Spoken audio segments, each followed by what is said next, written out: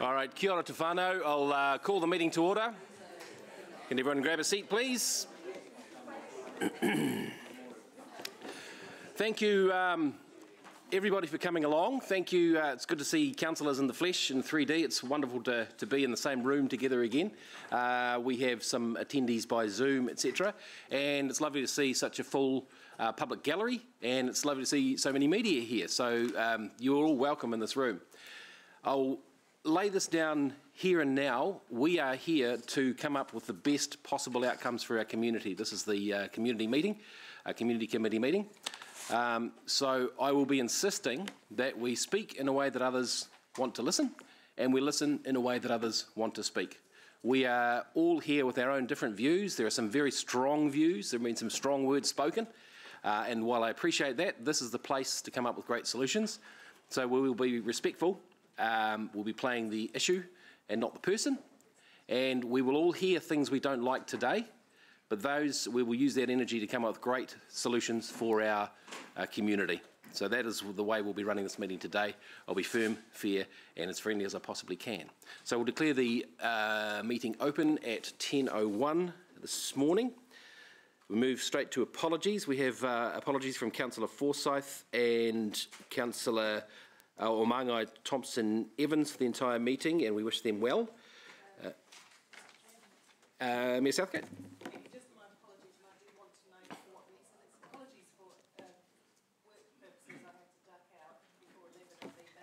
I'm actually speaking on a live podcast to Brazil because um, Hamilton said, I want to say this on the public record, Hamilton City has been acknowledged as being exemplary in the way that it coped with COVID for their communities. And we've been invited to talk to the Brazilian government and other mayors from around the world as to what we did. So that's what I'll be doing when I duck out. Thanks. Okay. And a big thanks to staff, because in a large part, of course, that is the staff that got, got us through COVID. And I just want that acknowledged. Thank you, Mayor Southgate. Um, further uh, apologies um, uh, from Councillor Sarah, I believe. You'll be in and out, and she's there on Zoom at the moment. You may see her up there. It's all very techni uh, technological. Um, Mangai Oli? 1.30 to 3.30, cool. And Councillor Van Oosten? Shh, shh, And I have to leave the meeting at 3, uh, okay. 3.15. Okay, absolutely. Thank you. Now, I will um, mention that we have photographers here from the media. You've all been briefed that they will be here. Um, keep your eye out for the lenses, but stay focused on the meeting. Um, yep. Uh, just so, uh, just to mention to the photographers, we have a suck-in time of 18 seconds, so please make it quick when you're taking your snaps. Um, so I'd like to move that those apologies be accepted. Thank you, Councillor Wilson. Those in favour, say aye. How's your hands? Thank you. And against? Unanimous.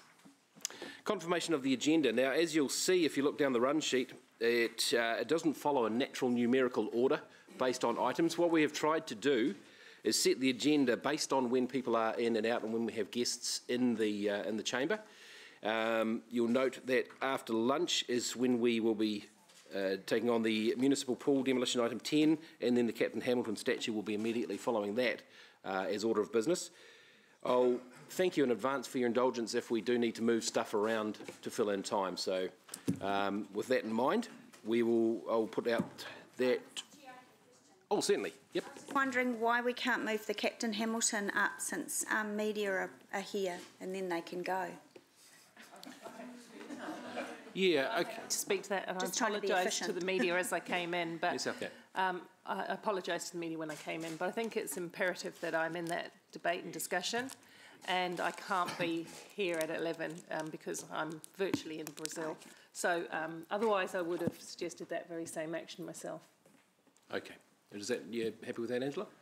Yeah, or oh, does that answer your question? yeah. No, okay. I'm, I'm satisfied with that. Um, but uh, I'll put that out for, um, for the vote. We'll move that the agenda or that be accepted. All those in favour? Oh, do we have a seconder? Oh, Martin, thank you. Excellent. All righty then. So, um, declarations of interest. Do we have any? Councillor Gallagher. Uh, yes, with regard to item 15, uh, I had a, I'd had declared an historical conflict many years ago because of perception. Yep. uh, given the broad issues to be discussed today, that uh, conflict does not apply. Well done, Marty. It's only taken eight years. What up? All right. Okay, so uh, you were declaring um, that you had had a conflict in the past, but No conflict. okay, absolutely. I'll hold you to that no conflict line, literally. Thank you, Councillor Gallagher. Any other de- declarations of interest? All right, and we'll move on to the public forum. So, public, we will ask that you come up to this seat up here. You'll have five minutes. I will be very strict on time today, uh, respectfully, because uh, we do have a very full public forum today.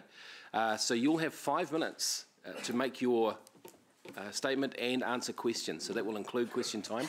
Members, if you are um, wanting to ask a question, put your name up there very, very quickly um, because at the five minute bell, if your name's still up there, there's still a question unanswered, I'm afraid we'll have to move on. Do we understand? Okay, great. So we'll start with Catherine Lucatina, please, representing Sink or Swim. I'd ask you to come on up. So, Catherine, your time is there. A bell will ring at four minutes, and then you'll have another minute to, to wrap up or take questions. Yep, we'll sort that out for you. Hold the clock. It's been delayed on to diligent, isn't it? Yes, it has actually. If, if, if um, councillors, if you look at um, the very last item on diligent, you'll be able to find it there in the public forum presentations under Catherine Licatina. Do we have it up? Yep, it's coming. It's coming up? Okay. Please wait while technology catches up with us.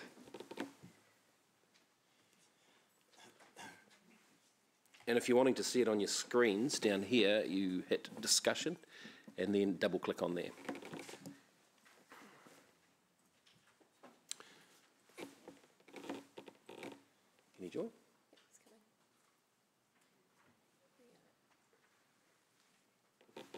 So welcome, your five minute starts. Thank you.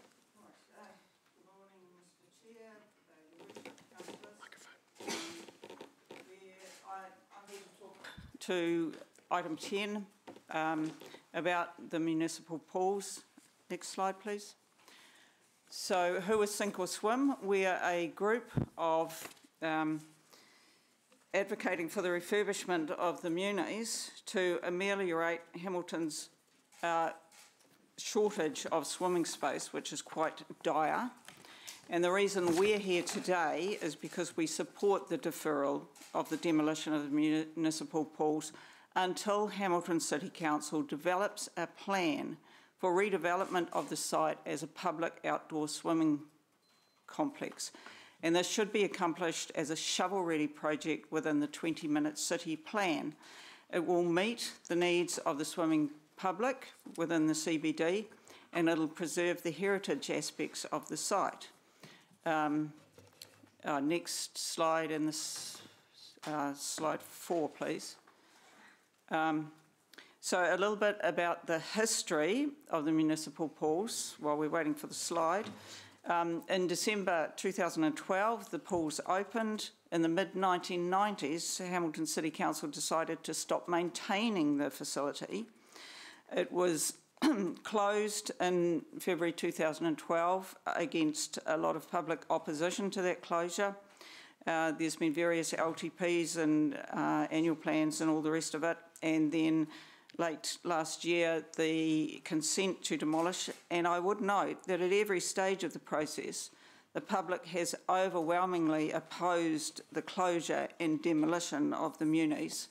Next slide, please. Um, now let's talk about the 20 minute city.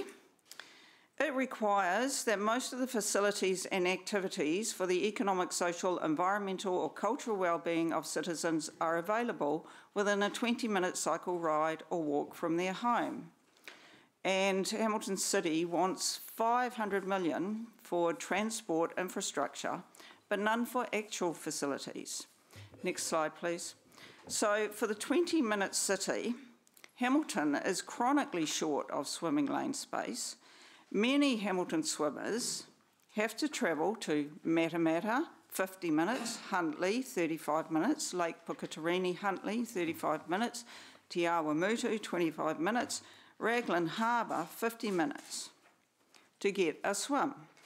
Now, to make a 20 minute city, you need to have 20 minute facilities. How does Hamilton, uh, next slide please. How does Hamilton compare with other cities? Well, compared to Tauranga, Wellington, Christchurch and Dunedin, we're doing really badly. There's 8,000 people per swimming lane in Hamilton compared to about six for the other cities. Now, how does Hamilton, next slide please, how does Hamilton compare with our neighbours? This is from your own report, the Waikato Regional Aquatic Facilities Plan. Hamilton City does not meet any of the seven criteria in the action plan. Next slide, please. So the municipal pools meet many council objectives, and um, I'll leave them there for you to read at your leisure. Next slide, please. Um, and the benefits, the municipal pools confer significant benefits for the city. They're in the heart of the city, close to uh, high density workers, um, schools, and housing, near the hotels, which don't have their own pools. It's on the orbiter and it's on the river path. You've got uh, one minute if you want to carry on. Or Okay, no, that's it. Um, I'll take a question if you like. any questions uh, from councillors at this point? No, thank you very much for your presentation. Thank you. Appreciate that. Um, right, next we'll have uh, Isabella and Christina Campbell speaking to item 10 on the municipal pools. And welcome home, by the way. Isabella's one of our newer residents. So again, you'll have um, five minutes, um, including questions. So thank you very much. Is no- Morena, Yep. tēnā koutou.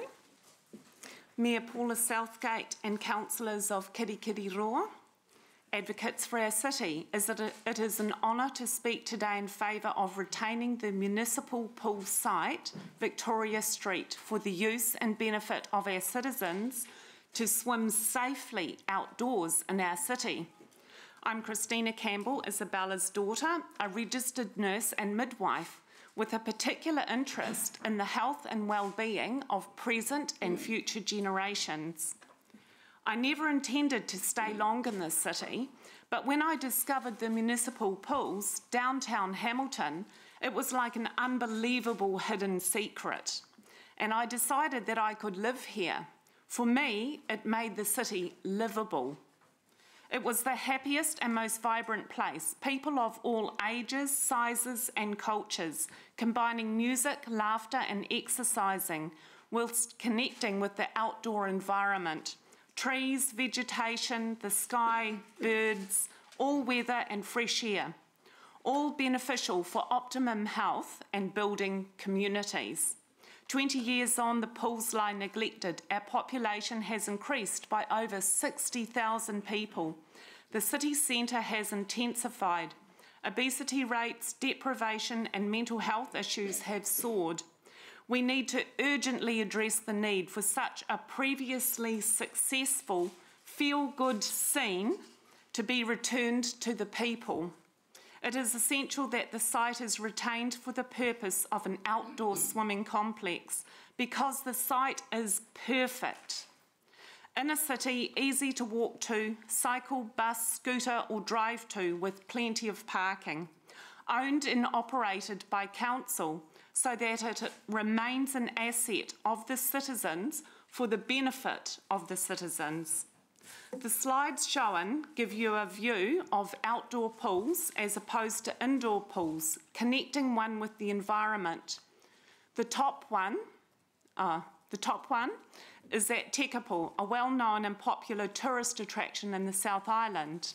The next one is of Dunedin's complex of outdoor pools, a spa pool, lap pool and cold plunge pool.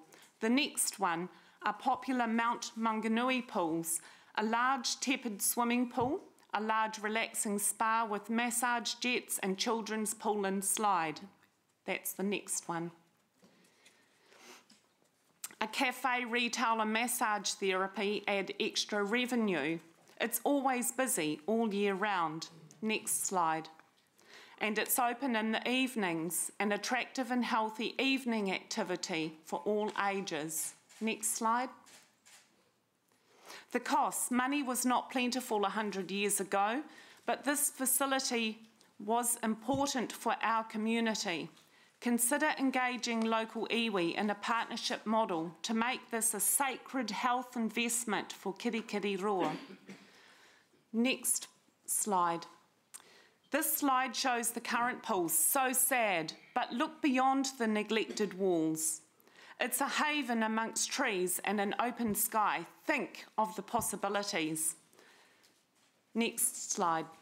This is what is beyond the neglected walls. Beautiful landscape and space to replace and enhance or expand the pools. It's next to the rowing club and river, known as the Ferry Bank, a historic site where early Maori and settlers landed. Let's embrace this site, open it up for our people, and celebrate our environment and rich diversity of our city. We next slide. We have a window of opportunity. Our future generations are worth investing in. Kirikiriroa, Tuhinga or Mua, or Hamilton, City of the Future. My mother, Isabella, has a short statement. Good morning, councillors and friends. I am Isabella Campbell, 92 years old. Hamilton is a wonderful progressive city of trees, parks, and people. One of my secrets for keeping in good mental and physical health is I wholeheartedly embrace exercise, my favourite being outdoor swimming. But sadly, Hamilton lacks what most cities have decent outdoor swimming in the city. The empty municipal pool seriously needs attention to revitalise. Yes, yes. Let's move forwards and improve the good pool complex on the prime site for all Hamilton citizens, including myself. Thank you. Thank you for coming along.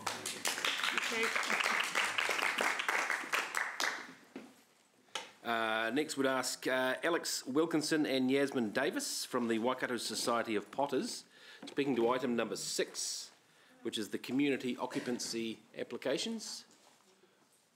Welcome, guys. Again, you'll have uh, five minutes, and the bell will ting at one minute to go. Um, so that does include questions if you want to open yourself up to questions. Thank you. Okay. Do you have an audio visual? Uh, nothing pictorial? No, no, no. Like a sculpture or a wheel? We'll think of that next time. okay. All right. You're welcome, guys. Right. Uh, Morena, my name is uh, Yasmin Davis. I'm a tutor currently at the Waikato Society of Potters um, and I've got a background in physiotherapy. And we're here to talk regarding the community occupation um, aspect for the Waikato Society of Potters. So, just a little bit of who we are. Um, the Waikato Society of Potters is quite a thriving art space in Hamilton. We've got members all across the, the Waikato region. We do anything to try and support and highlight pottery, sculpture, all things ceramic. And we've got quite a rich history spanning almost 50 years. We're going to have our 49th um, exhibition, yearly exhibition at the end of this year. Our society offers um, services to both the general public and to our members. Uh, we're open to anyone, any age, any background, any ability. We've got quite a few people who have special needs of one way or other, and um, we have quite a few people who come to us um, in regards to basically help with their mental health um, and work it out through clay, which is quite, um, it's been quite encouraging to see how well some of that works. Um, we attract um, hundreds of people and, and, residents to us every week, really. Um, we're open every day of the week in one form or the other. We provide a safe environment for people of all walks of life, like I said, and um, we continue to encourage that. When I started about nine years ago here, um, we had, I remember we, we got over the 100 mark for our members, and it was a big thing. Now, um, last 300. the 304 was our last count, um, and we're growing quite fast. It's, it seems to be sort of going up quite steeply. Now, our goals and aspirations is as a Waikato Society Potters, we are a non-for-profit society, and what we're really um, wishing is to continue to occupy the space that we currently have because it's an ideal space. It's right in the heart of the city. We have got good parking for um, our members, especially looking at um, our members that might otherwise be um, hindered from coming just through physical ability to get to us. Um, so um, that's, that's one of the key parts. We promote um, anything from casual um, use of the facilities through to classes, evening classes, and we also run a diploma course for a, a satellite facility that's run from Dunedin, but we provide the facilities to do that. So we've got the whole width of um, um, possibilities for people to use our space. Um, we're very, very keen on sharing the resources uh, with the whole public, with schools, with special uh, groups, um, yeah, again, of any age, any um, background. Um, I think you better say you bit. um, no, I'm really here just to agree with Yasmin and back her up. Um, we really just want to stay in the wonderful location we are, um, and we really help the community delve into their creative um, areas, which is something that's a little bit lost in our crazy lives. Mm. And um, just being clay, we've found is very grounding, literally. um, and it's it's wonderful to see what um, what people, yeah, when supported in a in a warm and welcoming way, um, will come up with, and um, how they can thrive from um, sometimes very sad backgrounds. Yeah. Any questions? Any questions? We have about 30 seconds for questions if there are any. No? Thank you for your presentation. Thank you for what you're doing. Thank you. Thank you. Kia ora. Hope to see you there. It's fun. After that commercial plug, you should be filling the halls. Fantastic. Yay! Great. Okay, um, we'll ask uh, Robin Hood to speak to item number 10, please, uh, the municipal pool. Robin, welcome. Um, and do you have a, a visual presentation, Robin, or is it just straight speaking? Straight verbal? Thank you, Mr. Chairman. Thank you. Um, so again, your time will be up there on the clock for you to see quite clearly, and the bell will ring at one minute yeah, to go. Go. Yep. Morena. Morena. Chairman, uh, Chairman Bunting, Madam Mayor, councillors, I'm talking to item 10. I totally support sink or swim and the persuasive, uh, persuasive and totally valid reasons to preserve the old municipal pool. My perspective to you today addresses history history which is faithfully, faithfully, faithfully recorded and available online. It is extensive.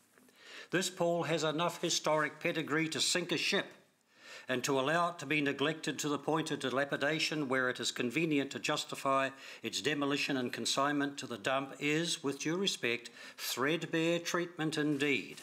It's unbecoming to the city that has grown from the raw cow town of the 1940s and the 1950s to become proudly one of the three economic hubs of the Golden Triangle in this country.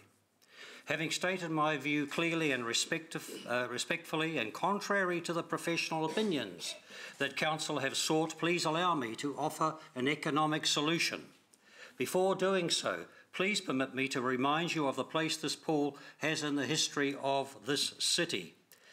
It is not only, not only has the Muni's been a place where a passing parade of generations learned to swim, to dive and play safely, and then all adults who used and exercised the pool during quieter hours, it has also been a place that gave rise to a passing parade of great aquatic champions in swimming, diving and water polo, and that challenged as equals the then powerhouses of Auckland, Wellington and Canterbury. It was also a place where two great coaches, the late Bob Frankham, Royal Honours British Empire Medal for swimming services, and the late Merv Campbell, Royal Honours member of the New Zealand Order of Merit for services to diving, they nurtured squadrons of competent swimmers and divers and stables of national champions, but also international competitors, Commonwealth Games, Olympic Games, World Championships, World Cups, including finalists and medalists in these events. If my information from public media reporting is correct, Council is budgeting about 1 million to demolish and remove this facility. Here's my solution.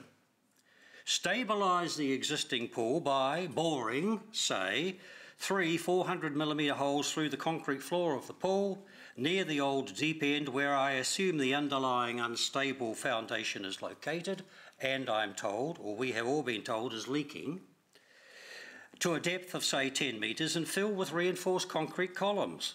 Obviously this procedure is engineer centric but is, commonly, is a commonly used technique.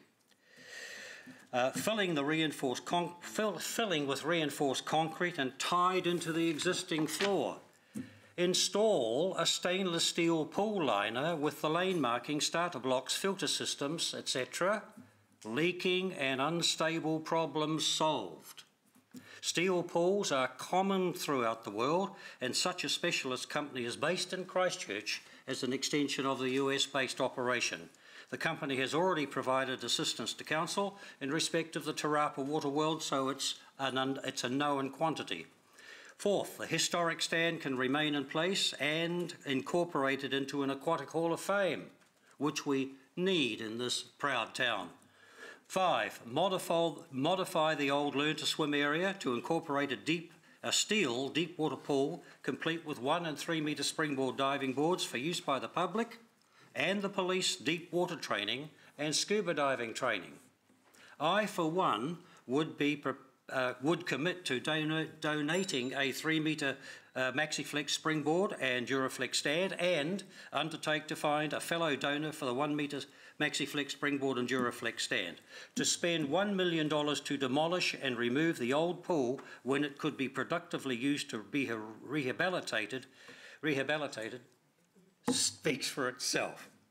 This rehabilitation is in complete harmony with the proposed sink or swim and water quarter concept, which I also support. Questions? Thank you, Robin. Do we have any questions from uh, elected members? Robin, thank you for your thank you, really Mr. positive and constructive uh, submission. Thank you, sir. Um, we'll go to Zoom now, and we have two people in the waiting room. This is, uh, where are we there? Uh, David Platts and Charlie Cooper. Now, they'll be speaking uh, representing the Hamilton Astronomical Society, and they are speaking to item number six about the community occupancy applications. So we'll just, is Charlie there? Hi, Charlie, can you hear us? Good morning, everybody. Can you hear me? Yes, thank you. Can everyone hear me? Awesome. Yep. Um, so we're just speaking, I'm speaking on behalf of the Hamilton Astronomical Society uh, ahead of our request to Hamilton City Council to renew our lease for the next 10 years. Um, we're currently situated up next to the zoo on Brymer Road, and the council has plans for that area. Um, and we've been in discussions with council over our lease for, and um, how that lease is going to change uh, so that we can the society in place while we allow the council to develop around us. Um, so I thought I'd just give you a quick overview of, of the Hamilton Astronomical Society and what we do um, ahead of you making that decision on a lease. Um, so we were founded in the 1940s, so the society's been around for an awfully long time. Um, and we've been on that site in Brown Road for since 1981. Um, we currently have a paid membership of 64 people, and that's growing all the time. Uh, we have four or five new sign-ups uh, every week, um, and we're working to grow that as fast as possible. Um, we, we operate uh, member nights and public nights. Um, so nights for the public to come up and, and look through the telescopes as well as our member based. Um, we also run uh, private events, and we've had we've worked with the zoo for many years um, to host uh, sleepover evenings, which have they combine zoo tours during the day and astronomy during the night. We've recently received funding of $3,000 from Hamilton City Council for uh, a single year community grant to help us with our annual operating expenses. Um, we've also recently received $7,000 from the WEL Energy Trust to help us prepare uh, and maintain the dome, um, which uh, the dome houses our 24 inch telescope. Uh, which was built by members in, 90, in the 90s, and we're working to refurbish that um, to bring it back to uh, modern spec for um, the society members and others to use. Um, we're, we're, holding our AGM in August, um, and our, the current committee goals for next year are to expand our member base, to run more events and activities uh, aimed specifically at younger members of the public and members, younger members. Um, we want to increase the diversity of the society with more women, more young members, and more uh, build a more culturally diverse member base. Uh, we're, we're wanting to carry out some much needed maintenance across the building and the telescopes. Uh, and our general goal is to provide scientific education to the public um, and support our members in learning about astronomy and experiencing the night sky. Um, so uh, that's, a, that's a quick summary of, of, of what we do. Um, and I hope that informs your decision about uh, our lease renewal. Thank you very much, David. Uh, is Ch uh, Charlie Ruther, is uh, David going to say anything or? Uh, he's sitting there in the waiting room. Hello, I, hi, I'm here, David Platts here. I'm supporting Charlie in the event that the Zoom technology fails, so I'm very happy to let uh, Charlie's presentation speak for itself. Thank you. Very good indeed. Thank you, gentlemen. Um, any uh, questions from elected members for our Astronomical Society, or are you all starstruck? Councillor Macpherson. I do, thanks. Uh, can you hear me? Uh, yes. Yep. They just noticed that the new lease area doesn't include your satellite dish. What's the story there? Um, so we've agreed with council to reduce the uh, our lease area. Um, back, the back paddock has been reduced significantly, and it cuts out the current uh, radio telescope. So that radio telescope will be removed and scrapped because um, it's not in use currently. Oh. Uh, hasn't been for some time, uh, and that will allow Hamilton City Council to use that land. Um, Great, thank you. Yeah. Thank you very much. Any other questions? Oh, Councillor Van Oosten. Um, yeah, just one question from me with regard to um, uh, cultural awareness and have um, uh, has the society um, uh, partnered in any way with local iwi to help to celebrate the Matariki um, uh, events and celebrations that happen annually? Um, we, we, have in the past partnered with um, cultural experts from Waikato University at Matariki time, and we do run a Matariki event every year. Um, and we, we do try and um, encourage people to, come to that and, and try to make it more of a cultural experience than purely an astronomical one. Um, this year, obviously, COVID got in the way of that, so we haven't really done much around Matariki. We we definitely like to do more around it next year, um, and we're very much open to talking to iwi about um, about how to make it better for the public. Very good. We'll take that as an invitation to Councillor Van Oosten. That's fantastic. Excellent. Any other questions? And look at that, how ironic the Astronomical Society have space. Outstanding. Thank you very much. All right, thank you, gentlemen. Thank you very much. yeah, not my finest work. Okay, moving on. Um, oh, yeah. On Sue. You're right. We're now. Any other bad jokes coming? We've still got time? No, great. Okay. Uh, Judy Patterson, could we uh, have you up? Hello, Judy. Uh, kia ora and welcome. Now, Judy, do you have a visual stuff? We got that? Got the, the team? Okay, Judy, again, you'll have um, five minutes, including questions. Um, and not much more else I can say. You know, the one minute bell will go and, and off we go. Um,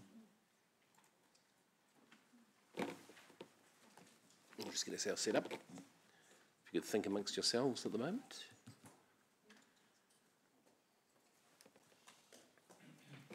There we go, thank you. Right, good morning, uh, Chair Brun Brunting and uh, Madam Mayor and assembled councillors and uh, friends and, and public.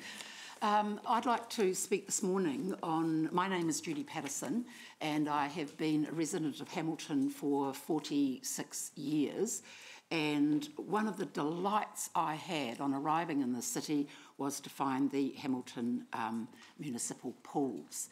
And um, I come from the great city of Wanganui, uh, as does Robin Hood um, with his illustrious background of doing handstands on the Durie Hill Water Tower as a diver.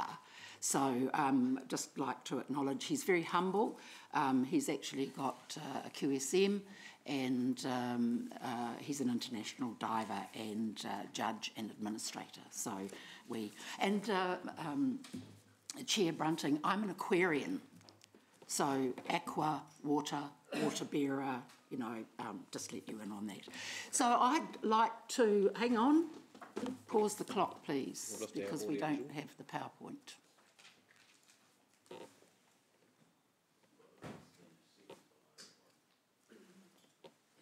There we go.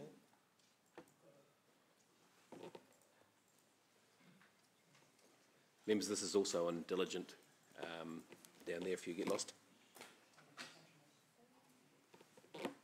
Ready?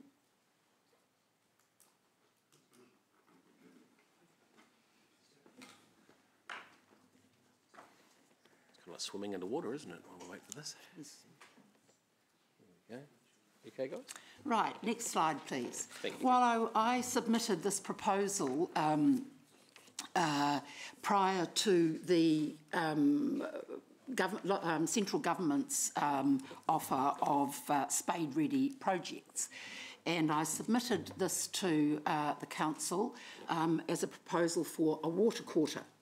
Now, international cities have Latin quarters and French quarters and other kinds of quarters. The great city of New York has the garment quarter, the financial, uh, sorry, the garment district, the financial district, and um, the meat uh, workers district. So they can designate these places as, as uh, tourist attractions in their fantastic cities.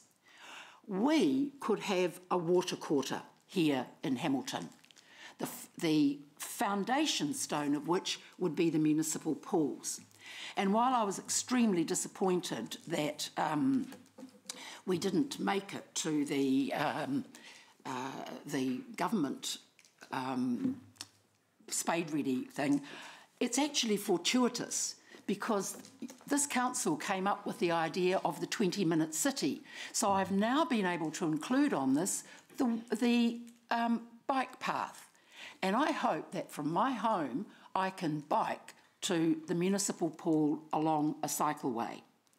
I'm wearing my bicycle earrings today because I'm a cyclist.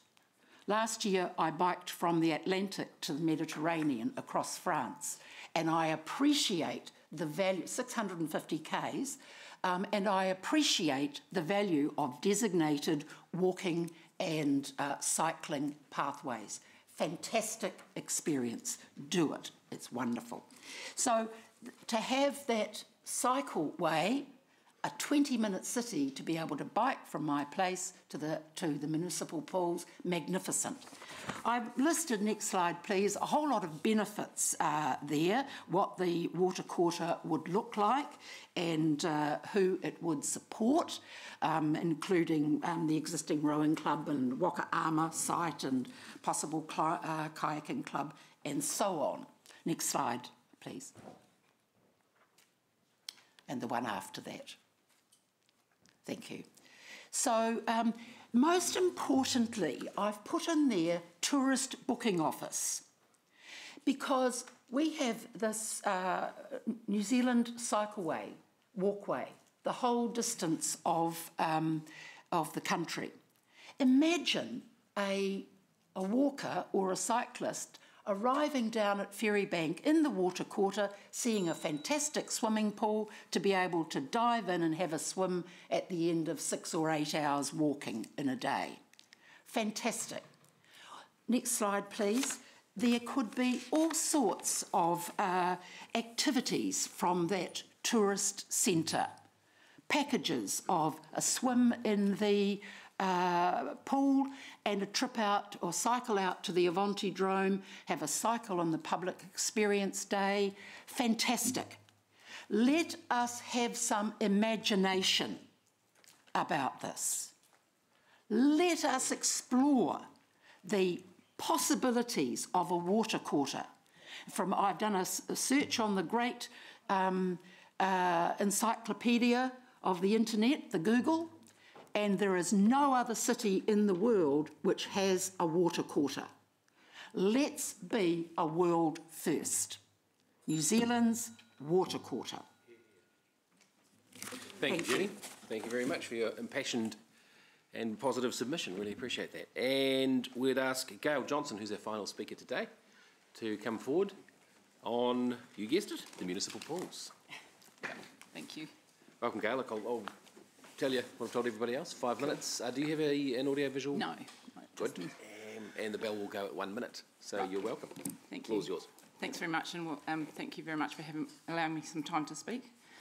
Um, I'm a born and bred Hamiltonian, um, and my introduction to the um, municipal pool started when I was about four, uh, when my family were already members, my brother and sister, and my parents.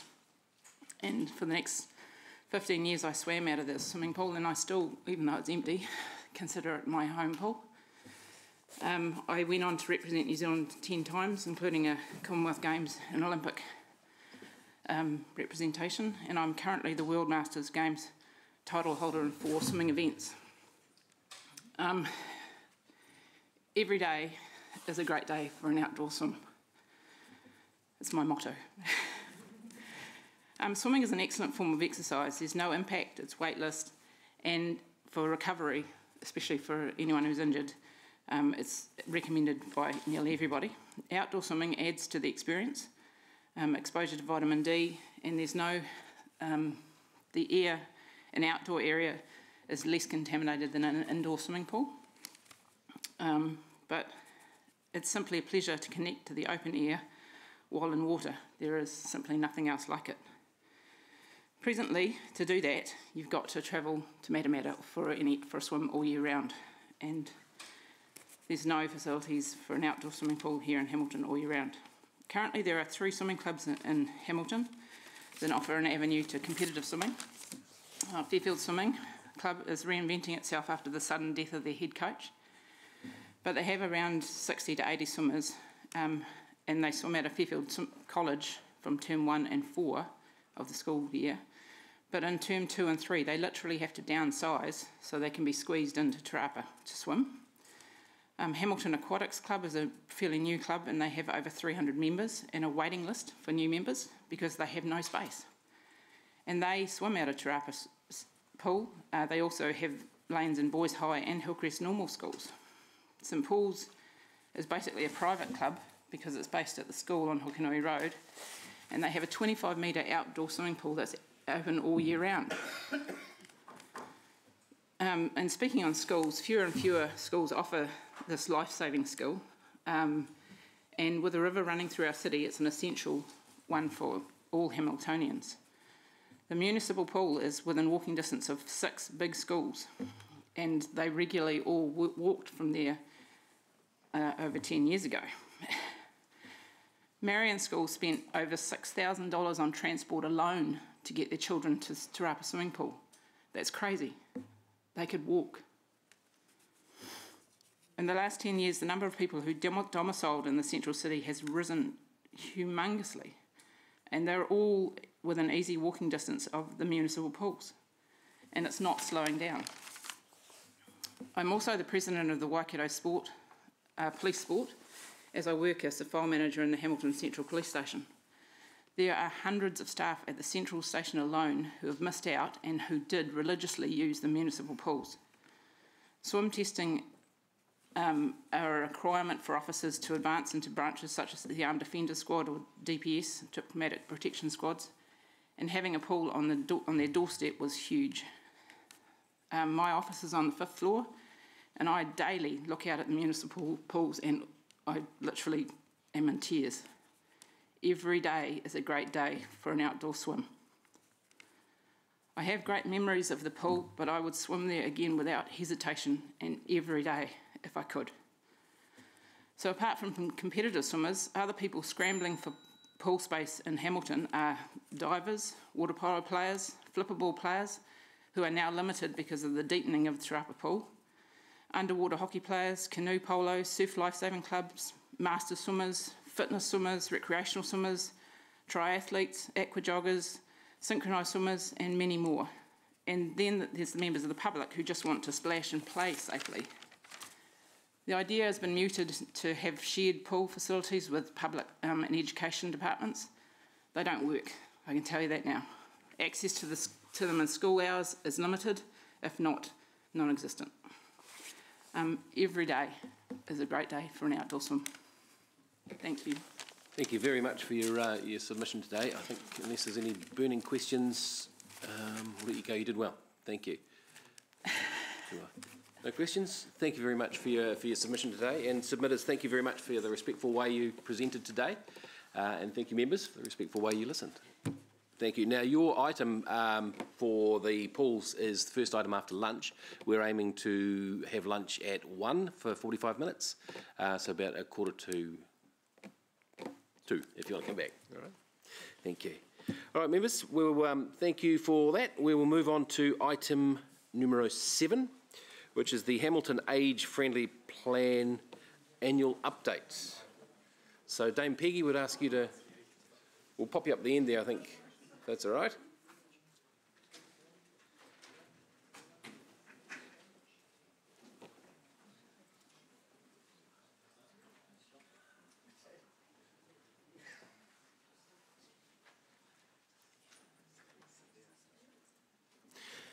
So welcome Dame Peggy, it's lovely to have you here. Um, the staff recommendation is that the Community Committee receives the report and requests staff report back to the Community Committee by the end of 2020 on options for reviewing the age-friendly plan. I'll move that to get that on the table and seconded by Councillor Kesh. Nick, the floor is yours to do the introductions and away you go. Great. Um, good morning to the Chair and to councillors. Um, so as you said before, here's the, the annual update on progress made on the age-friendly plan for Hamilton. Just as a reminder, the, uh, the plan is a community-led plan. Uh, there's over 20 organisations around the, the city who are contributing to this plan. Um, it's about two years into um, its, um, its progress now. Um, and um, Dame Peggy is here to give you some of the, the more detail about what has happened over the last year of the plan. Um, is there anything else that I need to say beforehand? I don't think so. I can pass over to Dame Peggy to, to give you an update on that and we'll be happy to answer any questions once she's done that. Thank you. Uh, Marina, um, people of the council and members of the public, I've been here before and that was to do, as this morning, to give a report. Uh, at last count, about two hours ago, Hamilton had 19,005 people over 65 which is 11.8% of our population, let's say 1 in 10. And we are all getting older. Um, some of older people are disabled. Some older people are doing very nicely, thank you. Some are in the workforce, and some are around the table here. Uh, and some are giving submissions. I do not know the lady, but thank you for coming. So they make a valuable contribution to uh, our, our city, including the work of our voluntary organisation that I chair, the Age Friendly Steering Group. Uh, we are either um, in a, a voluntary organisation or an organisation or um, a retired person. Essentially, the group um, is already uh, makes connections with existing groups in the Hamilton and suggests to them that they focus a little more their activities on older people. And so our, our role is really a negotiation um, group, and we have a set of projects, 48 of them um, in this plan. The, the group actually arose from an advisory group to the Hamilton City Council which I have to tell you has existed since 1993, I think. Um, this, this city despite being one of the youngest in the, in the country, has an amazing record on looking after its old people. So, in general, I think we can be very proud of the record um, that we have. The four-year plan that, that I am speaking to um, is on the web. There are 48 projects. A third of them are um, backed by the Hamilton City Council, but in conjunction with other voluntary groups. And in the report that you also have, you will notice that there are two groups who feature quite highly in their involvement. The Awawa Kaumatua Charitable Trust and also Age Concern. I'd like to acknowledge them. Um, I'd like to um, uh, you please in this session not only to, as you have done before, perhaps comment on particular projects, but where we might go further. This plan uh, is hoped to be achieved by next year. Because it's a community development style of group, some of the projects may not get there, uh, because people have gone somewhere else or whatever. Uh, and we needn't be too upset about that. But there are also many projects that are also being um, thought, thought up as we go. Um, I would like to just uh, comment on uh, the work that your facilities group in the Hamilton City Council has done uh, with respect to a lot of the improved facilities we have in this uh, city for older people. But what is good for older people is usually okay for everybody. And if it is by universal design, as our bus stops are, with a gap at the end for the wheelchair or the pushchair or your handbag, um, that is what we call universal design. It's for, for everybody. Um, I'd also like to, to um, uh, thank the Hamilton City Council for their customer service. Uh, the people on your front deck, uh, front desk, uh, are a very welcoming crew, and that gives a nice impression with older people who, after all, are a fair group of ratepayers. Um, I'd also like to thank my colleague here, Nick Chester, and Judy Small from the Hamilton City Council. Uh, and, and that is really uh, good news to have your support in, in, in that way. Um, I'll finish with the other good news. The other good news is I'm not asking for any money. Okay? I don't get any money, you don't give me any money. So, so let's just get that one clear. But I get people working harder, faster, sounds familiar, doesn't it? Uh, and extending their, their gaze to include older people. So if I say to a cafe owner, and I'm thinking of one in particular, good coffee, but there's not an armchair in the coffee bar on the chair. And so I do, I'm not an actor, but I act as though I'm going to fall off. And I say to the person in Hamilton East, if I fall over, uh, the health and safety regulations will not like you very much. Now, that's a bullying technique, and I don't try to do that. But, but um, what we are trying to do is two purposes. One is to raise people's awareness to the increasing number of older people we have here. You'll remember the, the figure, 19,005 now. Um, but secondly, what can we do better for those people? And just generally respecting older people. We have here a 90 year old. Now, that's fantastic, who has taken the time to make a submission. She's probably paid more rates than a lot of us, but good on her for coming today. Okay? And so, my final question to you or request is written in the report. And that is this report uh, will finish next year. And the question is what would the Council, hopefully still supporting us, um, and also so does the World Health Organization, uh, what's, what sort of plan would the, this Council like from here on? Is it, for example, more of the same? Or is it in conjunction with another existing group? The Waikato plan comes to mind, or the Wellbeing Project comes to mind, and there might be other ones as well. We could do both. Or nothing, because the Hamilton City Council takes it over completely. Could be tough with some of the organisations that we're dealing with. Um, but we would like a little bit of steer on that. And so um, the next time we turn up, we would like to have had a discussion on where we might go from now. So what I would like, please, is for you to think about where we might go as well as um, what we have done now. Thank you. Thank you, Dame Peggy. Um, we'll open it up to questions from members. Uh, I'll ask that first one to kick things on. Dame Peggy, around uh, COVID, it's been a stressful time for everybody. Um, how's that been going with the aged community? Around the what? Uh, COVID, the Oh, oh, oh, yes, the lockdown. yes, the, lockdown. Yeah, yeah. Oh, yes. Well, um, we asked for um, uh, comments from our group. Many of them are retired uh, themselves. I'm trying to.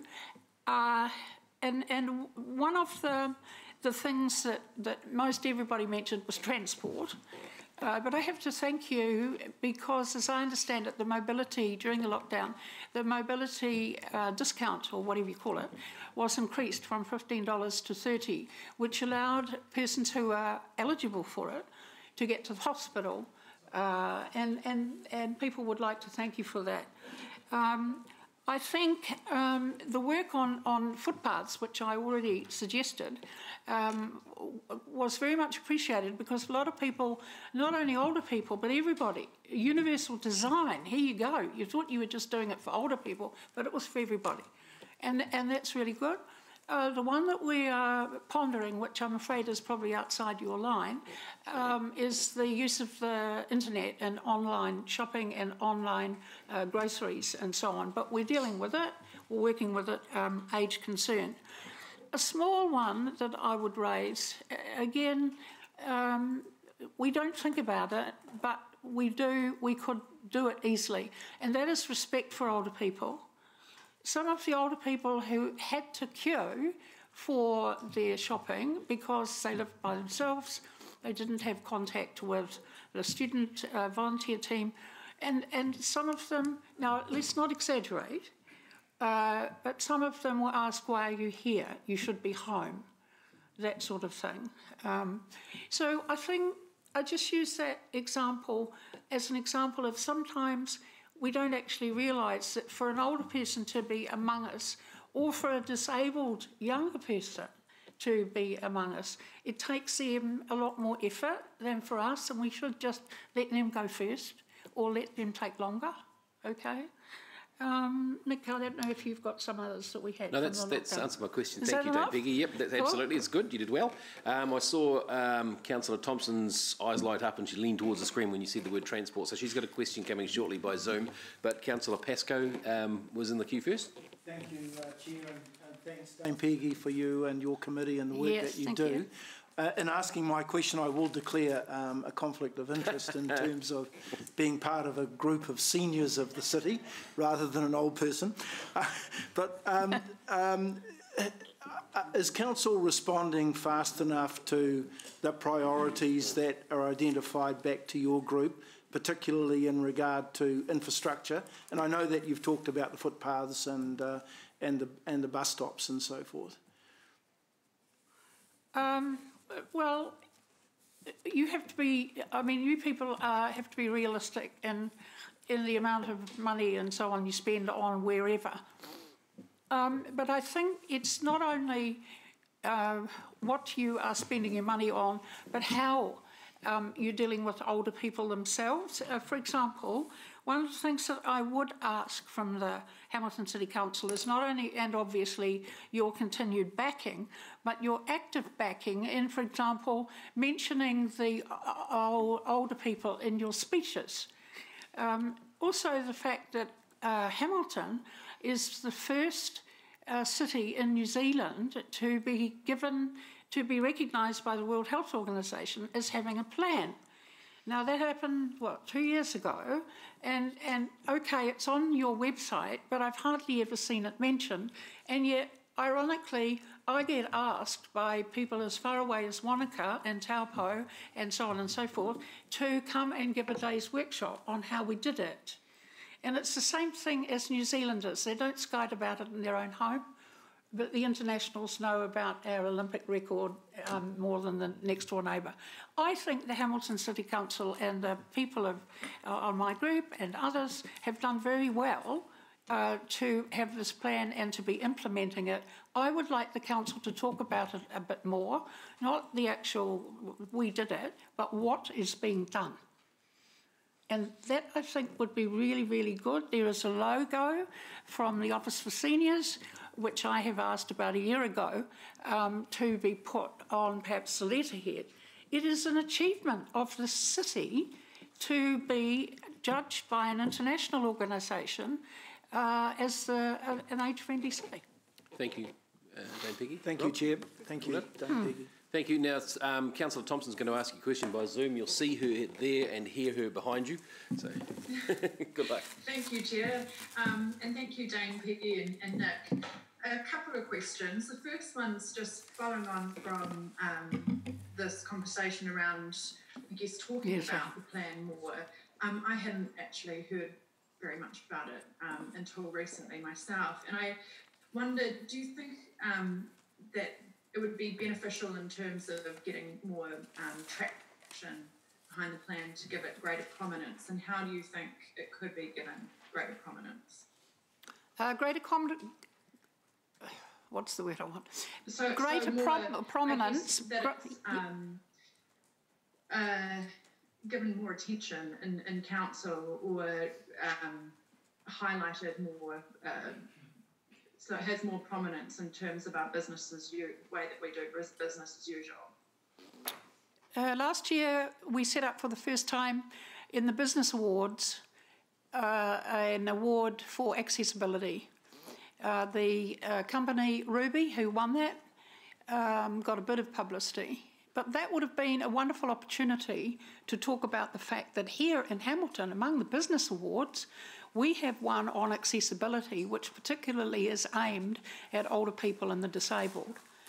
And I also think, as I said before, um, just simply in, in speeches in the 10 year plan, I would expect that.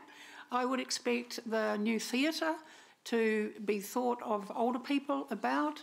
Uh, what about the train that's going to go from Hamilton to Auckland? Is that suitable for people who are disabled?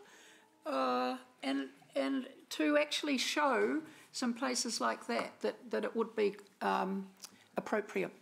And the pools. And the pools. Well, the pools. Um, Thank you for the prompt from the gallery.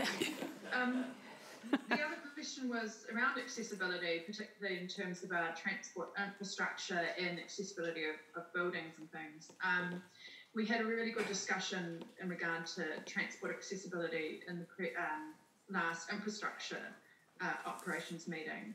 And do you think it would, um, this is possibly to staff as well, uh, be beneficial to have some joint up thinking or program in terms of um, accessibility uh, when we because the discussion in the infrastructure meeting was around um, the disability action plan and how um, we can support that in terms of our infrastructure. But obviously, you know, there's um, a, a, close link here in, in terms of those needs around accessibility. Um, I'm, I'm torn between answering that question in detail because it is one that requires that, and uh, looking at it slightly more strategically, which I'll choose given time. Um, I would suggest that the 10 year plan has a ruler uh, over it with respect to is this appropriate or suitable or adjusted to older people. Uh, I've made that suggestion before. I haven't succeeded in getting it, but the words universal design should appear in your 10 year plan and the word accessibility. But the universal design is really a technical word that I think this council should use a lot more often. Okay, thank you. That's helpful. Thank you, Sarah. There being uh, no more questions, uh, the motion is on the table. Um, the idea is that we, we are here to receive this update report um, and we're going to ask staff to go away and do some more work um, by the end of this year with a mind to reviewing the age-friendly plan next year. Uh, we'll move into debate um, as the mover. Um, I'll just uh, just want to say a very uh, very quick thank you to uh, Dame Peggy. I've really enjoyed our interaction so far and looking forward to some some great sparking of ideas once we get started together. We're we're trouble. Um, I also want to pay respect to the council before last for uh, for setting this up because um, we found ourselves in a position where we're the youngest city in the country uh, with the most progressive age-friendly plan in the Yes. city. So great work, really well done. Um, and it's been a pleasure to, to do this. Dame Peggy, thank you for uh, not asking for any money, um, but your, your, um, your suggestions are really pragmatic and taken on board about let's mention this in our speeches, let's sing this uh, from the hilltops, um, because the more we talk about it, the more people want to be involved. Mhm. So, uh, Councillor Gallagher. Yes, I just want to acknowledge uh, Dame Peggy's team and the people around her for the intellectual grunt Yeah. uh, that they bring. And there's been comment that we don't have um, advisory groups, consultation groups, but certainly with regard to the senior, senior or elders of the city, we do. It's independent, it's fearless, uh, and I think that's really important thank that you, it can tell council, uh, you know, what it may not want to hear. And I know that my two old, the colleagues who are older in this council, that's Councillor Pascoe and Councillor Macpherson, are very comforted by the work of, of Dame Peggy's uh, um, They all committee. It doesn't, of course, you know, obviously, it'll Welcome be some time Dave. before I'm in their category. Thank you. Thank you, Councillor Gallagher. Councillor Thomson? Excellent. Or was that just a blue? I'm okay, thank you. All right, you- I've left my hand up. Yeah, no, that happens. That's all good. All right, well, right a reply. Thank you very. Oh, you had a. Oh yeah, Councillor Macpherson. There we go. Sorry about that. It's my right of reply to Councillor Gallagher. Here we go. I'm, I'm in awe of the achievements of my two co- older colleagues on the on either side of me here, but I, I actually think we're after a slightly um, contentious start. This plan has been excellent for the city, and I think um, Peggy, Dame Peggy, you made an important point about uh, the disability access issues Yep. being related to this, and I can, can assure you that the train has certainly taken that into account, as has our new uh, station at. Rotokauri. Yeah, In fact, um, we've uh, required the uh, toilets and uh, other Yeah. facilities out there to be um, have enhanced design to take account of that. And in fact, the new new transport hub out there is going to be somewhat of a template for future transport hubs in terms of its accessibility issues, full accessibility, not the halfway house that um, happens in some places. But um, I think we could perhaps do more work in terms of consultation, not just with the disability community, Mr Chair, but also with the um, uh, the people working on the age-friendly plan and other groups like um, the two that uh, Dame Peggy mentioned before. So I think I think this is a good move, um, and the, I'd like to say that the biggest development since the plan was endorsed in February 2018 was the was my birthday and eligibility for the pension one month after that. Oh, you only got it because of us? Yes, that's right. Yeah. All right, thank you very much. Uh, there being no other speakers, I'll, look, I'll just say again, thank you very much. Um, uh, committee, the, the theme of today, of so far what we've seen is that we've done well. Uh, we can always do better, so I'm looking forward to some exciting new work as we as we progress this along. Okay, thank you, Dame Peggy. Uh, so all those in favour, uh, show of hands, please. Say aye. You see the port? Any against? Carried. Carried unanimously. Thank you, Dame Peggy. It's good to see you again. Thank you, Nick, for all your great work. Cheers. Okay, we'll move on to item five now, which is on page uh, six of your governance, which is the confirmation of the minutes of 19th of May. Now, that was by Zoom. Absolutely, yes. Item seven, I just want to clarify, uh, which I obviously dissented, a horrendous recommendation that you look at the privatisation of part of Memorial Park. Is that, uh, just could Lance help me here? I take it, number one, that would be um, a rec- would have to be a recommendation to full council. And would the report include consultation with the Return Service Association with regard to that proposal? Okay, I was pretty close, Martin, but we'll get Lance to. Uh, can I answer the second bit first because it's easiest? Um, yes, uh, to the consultation. So um, we're looking at an open process and talking to stakeholders and and the community.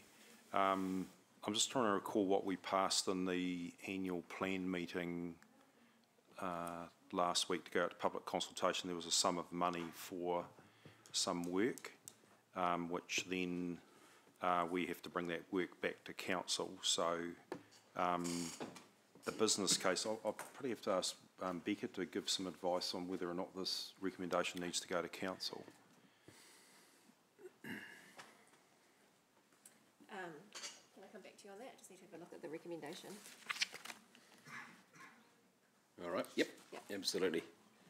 Okay, so Martin, do you mind if we get back to you with the answer? Yeah, no, no, I'm not, I'm not disputing the record of that horrendous motion, but obviously I just wanted to clarify around delegation and uh, consultation. Certainly don't intend to debate it at this meeting. No, I, I, I would have thought a business case, um, we're not actually um, giving a, a, an interest in any of those properties to anything at this time. It's just a business case. So I, I would see that this the committee delegations would probably cover it, but I'll So- take take the governance manager's Sure, no, advice no, on that, that's fine. All right, thank you, Martin. Um, Item five, confirmation of the committee uh, minutes of 19th of May. I'll move. Do I have a seconder of those minutes? Okay, uh, councillor Naidoo Um Any questions on the minutes of the previous meeting? Martin, is your button just left on from last time? No, no, sorry, Yeah, apologies. no. Okay, there being no questions, uh, move to debate. No debate, okay. Um, moved and seconded. And those in favour, show of hands, please. Thank you very much. Councillor Angela, you in? No. You? Rotter. Okay, and those against? Carried. Yeah, exactly. Thank you, council. Um, let me see. All right, we're aiming to take a break um, fairly shortly. Would you prefer to? We can whip into now. We can go into either community and social development out- outcomes, item nine. I'm just thinking for expediency of time, or would you prefer to take a break now? Cup of tea? Oh, actually, I tell you what, we'll whip through the chair's report just before we go any further. Um, chair's report. Sorry to make you jump around, diligent. That's on page 74. So we'll go uh, uh, 68. No, where is? Where is 82. 82. Do I have any advances on 82? Do I hear 83? Okay. 82. The chair's report. Yep, I've tried to keep it as vanilla as I possibly can. Um, do we have? I'll move that the report be received. Do I have any questions? I'll take it as read. Chair's report. Councillor Gallagher. Yes, um, Mr Chair, I assume I, I, I just mean the, the last sentence, uh, obviously yourselves included in that, thanks. But I think that it's very appropriate, uh, your comment of, of thanks for our Deputy Chair and uh, uh, Ollie and Tipura for They their have been assistance. fantastic. Thank you. Thank you, Councillor Gallagher. That's that's um, that's appreciated. Um, any other questions? Any debate? Yeah, that's how you do a chair's report. Okay, those in favour, say aye. Those, oi. Those in favour, say aye. Thank you. Those against? yeah, whatever. Uh, those against? Uh, carried unanimously. Thank you. All right, um, look, we'll take a break now. It's close enough to quarter past. We'll come back at half past 11 um, for our next exciting session of Community Committee 2020. Thank you.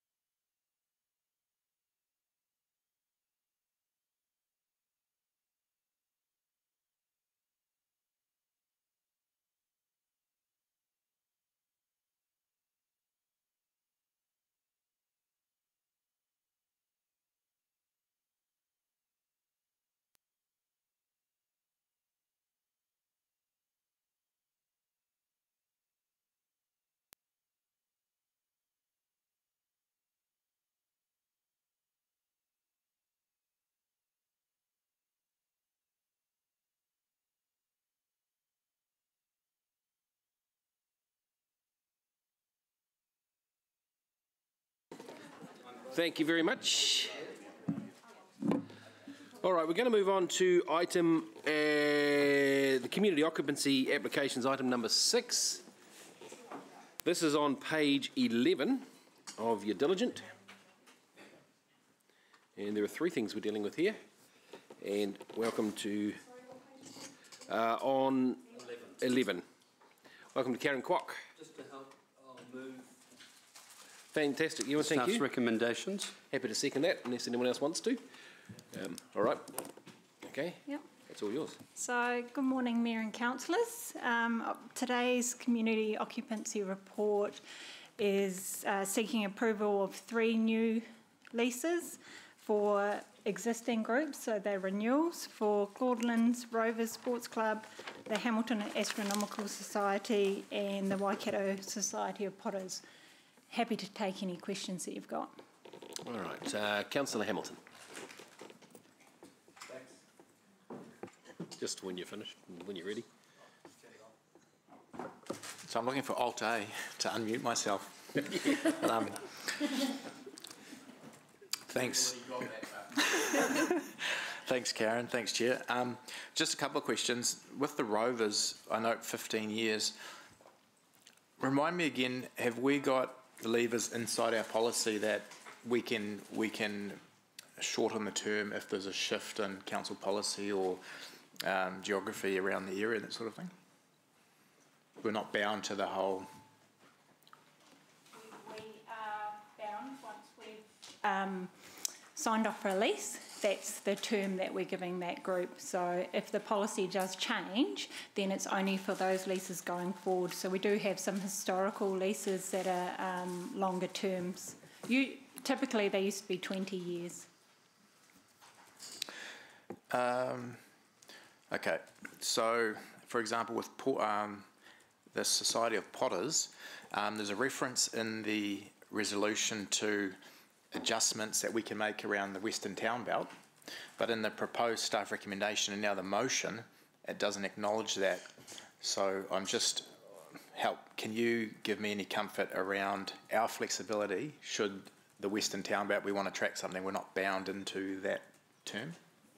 So in the actual lease documents, there's always a optional termination clause for council should we um, have see that there's a better use for that space. So every lease has got, I guess, an out clause for council anyway. Um, but I, if there is a particular management plan or um, something that, that may impact on a lease in the future, we always like to put in a special condition to make it crystal clear to that group that there is um, plans that may impact them in the future or to make it clear that council has the option to terminate the lease should they need to. So that's sort of my first question. We have got levers to pull should we need to. Yeah. Um, okay. I think, and- Councillor Ryan, are you asking in section 45, it talks about putting in a special condition clause because of the West Town Belt Master Plan. Yeah. Are you saying in the recommendation that we should um, have that explicitly in there so it's clear for the potters? Well, yeah, I don't necessarily want to get hung up on it, but I, I don't have that assurance um, that it is in there, other than if unless it's unless you can give me that assurance that it is, because I, I don't have visibility to what that term is. Yeah. But Karen, I think you what you're saying is in our leases, there's a, a general term. So if Chris Allen wants to put a sewerage pipe across the Claudelands football field or something, we can we can alter things because of a public work or whatever, you know, whatever.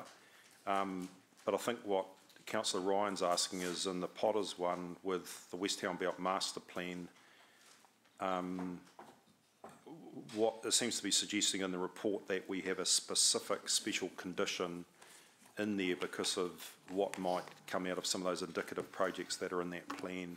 Yeah, and if I- if I so could- the question is, do we need the specific clause or, or will the general general one cover that? Is that what you're saying? Yeah, and, and Chair, if I could, just for context, we've got the um, Hamilton, we've got the Ward Street property redeveloping, and we're talking about pedestrian access way on that corner uh, across from Girls High, and I just don't want to make sure that we're bound into a position where we've got that blockaded Potters, because that was, that came up as quite a, a blocked corner. Yeah. So I just want to know that we've got flexibility around it, that's all. Karen, can you provide that assurance? Yes, so that I'm suggesting that we do put a special clause into their actual lease document around the West Town Belt Management Plan, and that allows council to uh, terminate the lease um, with with notice to the group should we need to. I- I mean, if it makes you more comfortable, we can add it to the resolution around inserting that special condition. Add it if, if councillor Ryan feels. Is that spec- Yeah, and I I wouldn't, I wouldn't even want to limit it to the Western Town Belt. Yeah, I that's mean, what I'm wondering uh, uh, Chair of um, CBD Advisory may have a view, but just, just to give us flex if there's any shift in that, and it could be for pedestrians, cycleways, anything, it just gives us a bit of scope, bit of latitude, that's all. Yeah, okay. So can we, is there some wording of a resolution that you'd like that can give you that assurance? Are you quite happy with them to? Um, I think maybe if we can reference something, I don't need the detail of it, but just at a high level. Um, maybe a, a Roman numerals four saying something like, and with the addition of a special uh, um, clause as outlined in section uh, 45 of the report. Yeah, but not just limited to Western Town Belt, it could be other CBD related activity. Oh, okay. All right. Um, a special clause which allows council to, and I'm just trying to find the wording that Karen had in the report. Um, You can have a play with it anyway if there's other questions or whatever. Yeah, yeah, okay. Okay. Thanks, uh, Ryan. Thank you. Uh, Any other questions there at the moment? Okay, we'll, with your um, leave, you and we'll toot it around with the words and run that by you. Uh, Councillor Macpherson. Yes, thanks. I'm not sure, actually, I agree with that, with the, the potters being sing- singled out, because with any um, community occupancy lease, there could be future issues.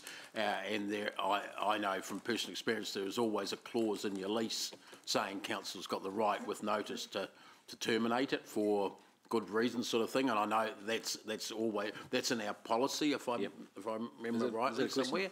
So I sort of think it's covered, but, and it's better that it's covered generically rather than sort of, I think it might potentially cause, give them a bit of cause for concern if they're singled out by the motion, if you get what I mean. Yeah. I, I don't disagree with the intent, but provided it's everyone doing that.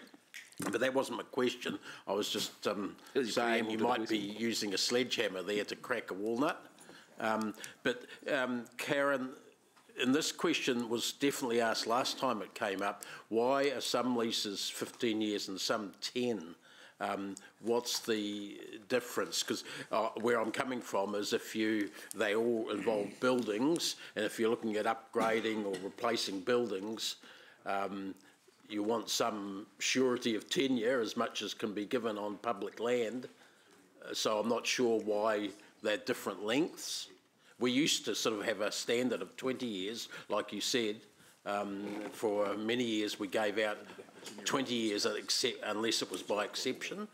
And I think you can go up to 30 in the Act or something close to that. So I'm not sure why we're doing 10s and 15s now and why, there's, why they're different. So that was part of the policy when it was first put in place, is those around the different terms.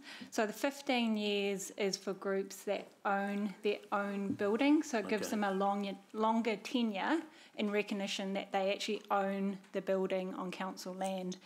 Um, where it's a council building on council land, that's where it's a 10-year lease term because it's council's building. So that gives us, in recognition that it's council's building, gives us more flexibility in terms of that, or in terms of the term. There seemed to be some, um, some exclusions to that then, in terms of owning buildings that I, I might have to take that up with staff later because um, I don't want to discuss an individual case here, um, for instance, but. So uh, we're, we're happy to talk to you offline about that, councillor Dave. Um, Why are we, uh, so you're saying the policy requires that 15 or 10, even though the law could allow us to have up to 30?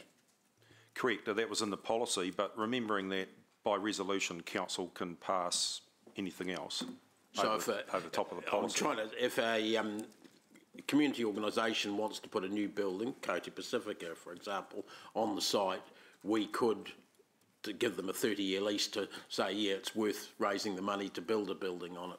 Correct. Yep. that's And, and, and if it's an extraordinary situation like that, then um, we would probably recommend to council to do that. Okay, yep, no, that's good. The, the, the last one was the, um, the Potters situation, not so much them, but there's a precinct of similar uh, groups down there. Um, and there is some, has been some discussion about a enhanced sort of community arts centre on that, that precinct, is the best way of talking. Do, will this list, uh, the, sorry, this lease get in the way of that sort of discussion? Because they're, obviously they're all going to have different leases and different periods. So I think the overriding clause in all our leases is that should council have a good reason um, to terminate the lease, we can. Um, and it's not something that I'm aware of council has done or made a habit of doing, um, but it is there in every lease clause. I'm thinking more the other direction.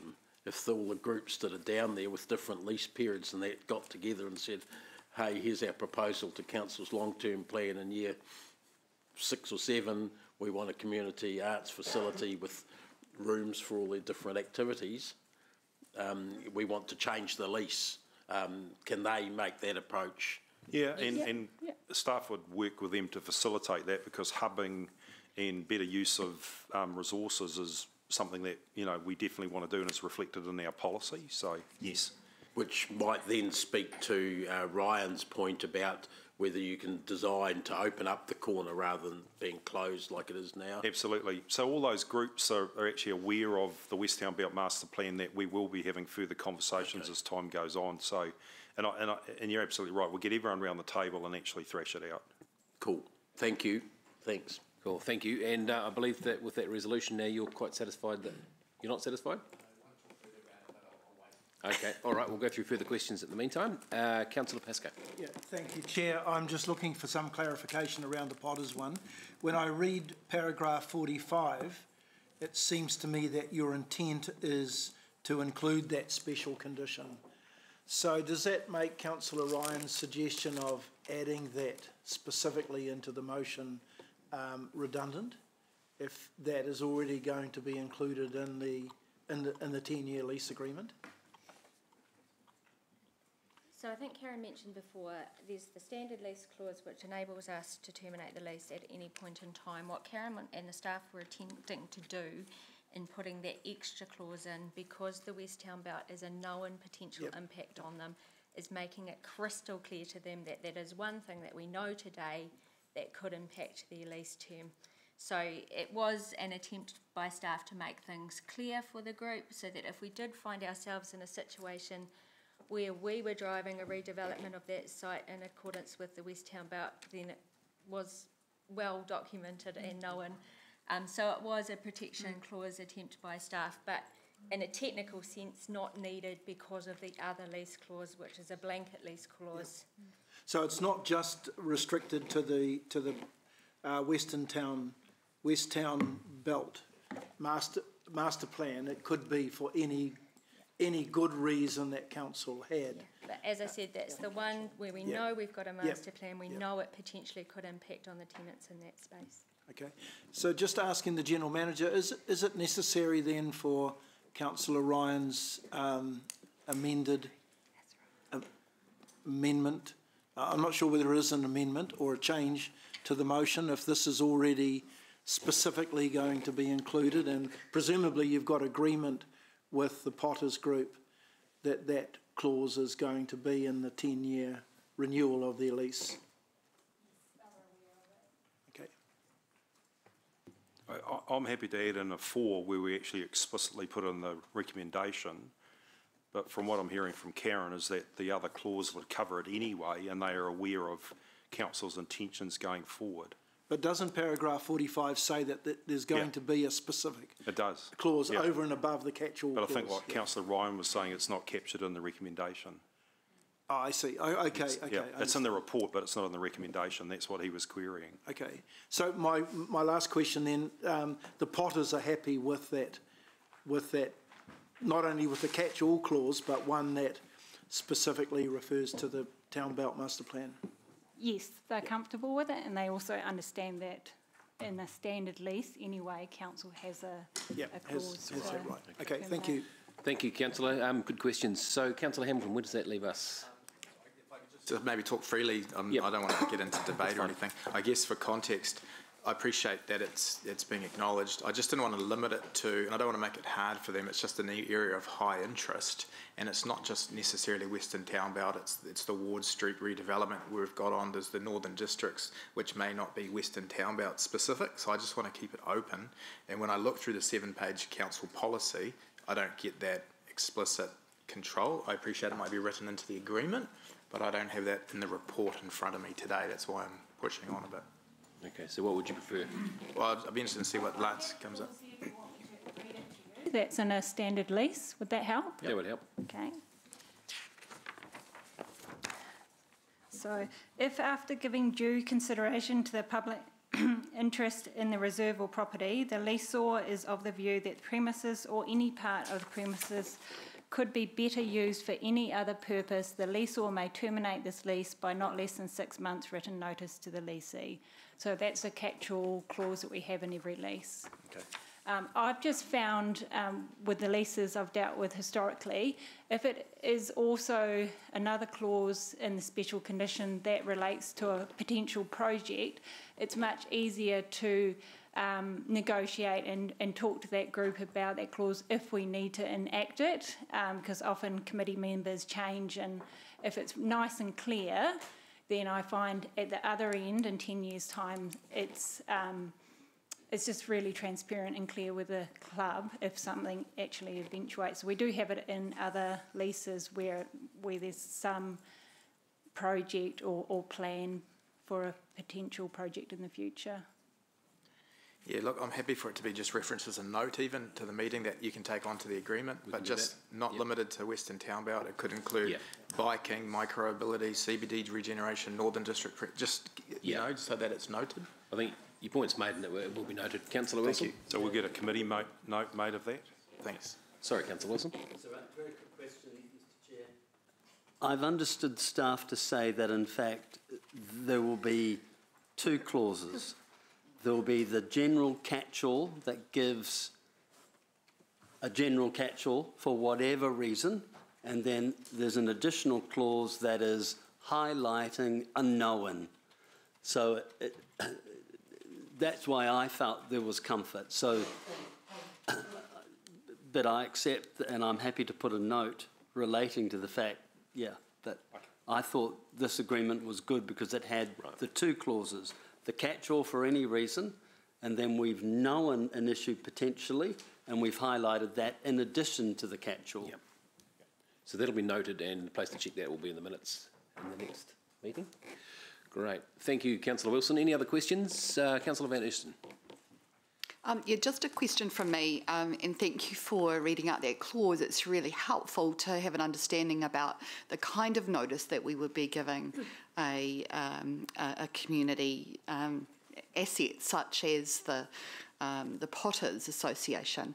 Um, I, my question really is um, that, in fear that we wouldn't leave it to the last six months before having that conversation, that if there were um, decisions made from council that impacted on them or any of, of the others, that we would be in early and having conversations and setting up alternative arrangements for them.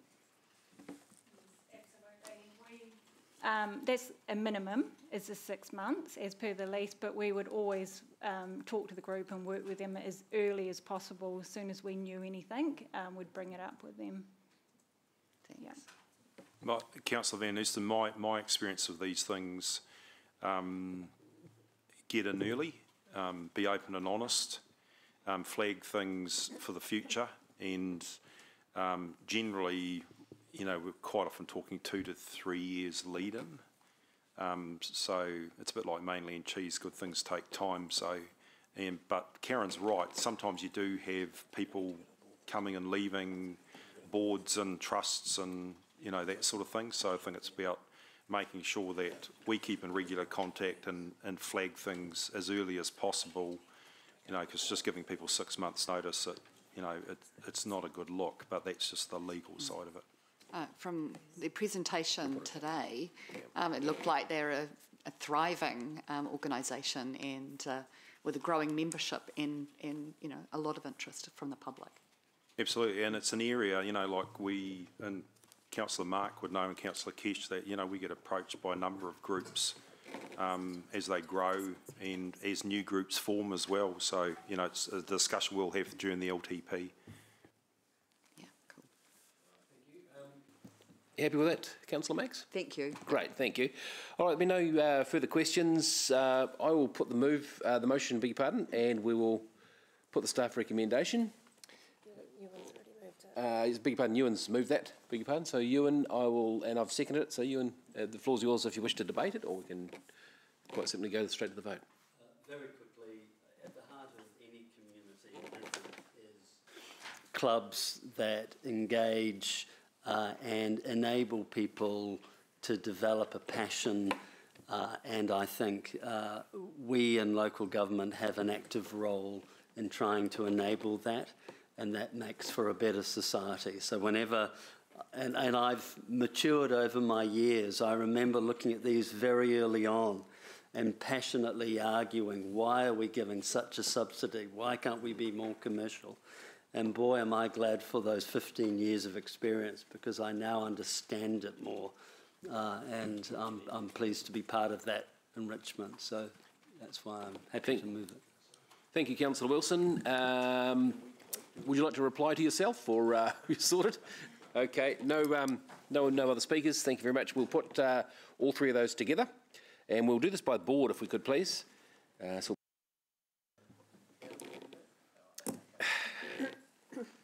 Statler and Waldorf over there. Um, Sarah, will, are you at the meeting? Uh, Councillor Thomson has left the meeting. Councillor, Councillor Thomson's not here for the vote. Okay. Oh, no, she is here for the vote. Okay, thanks, Sarah. Yeah, thanks. All right, everybody voted?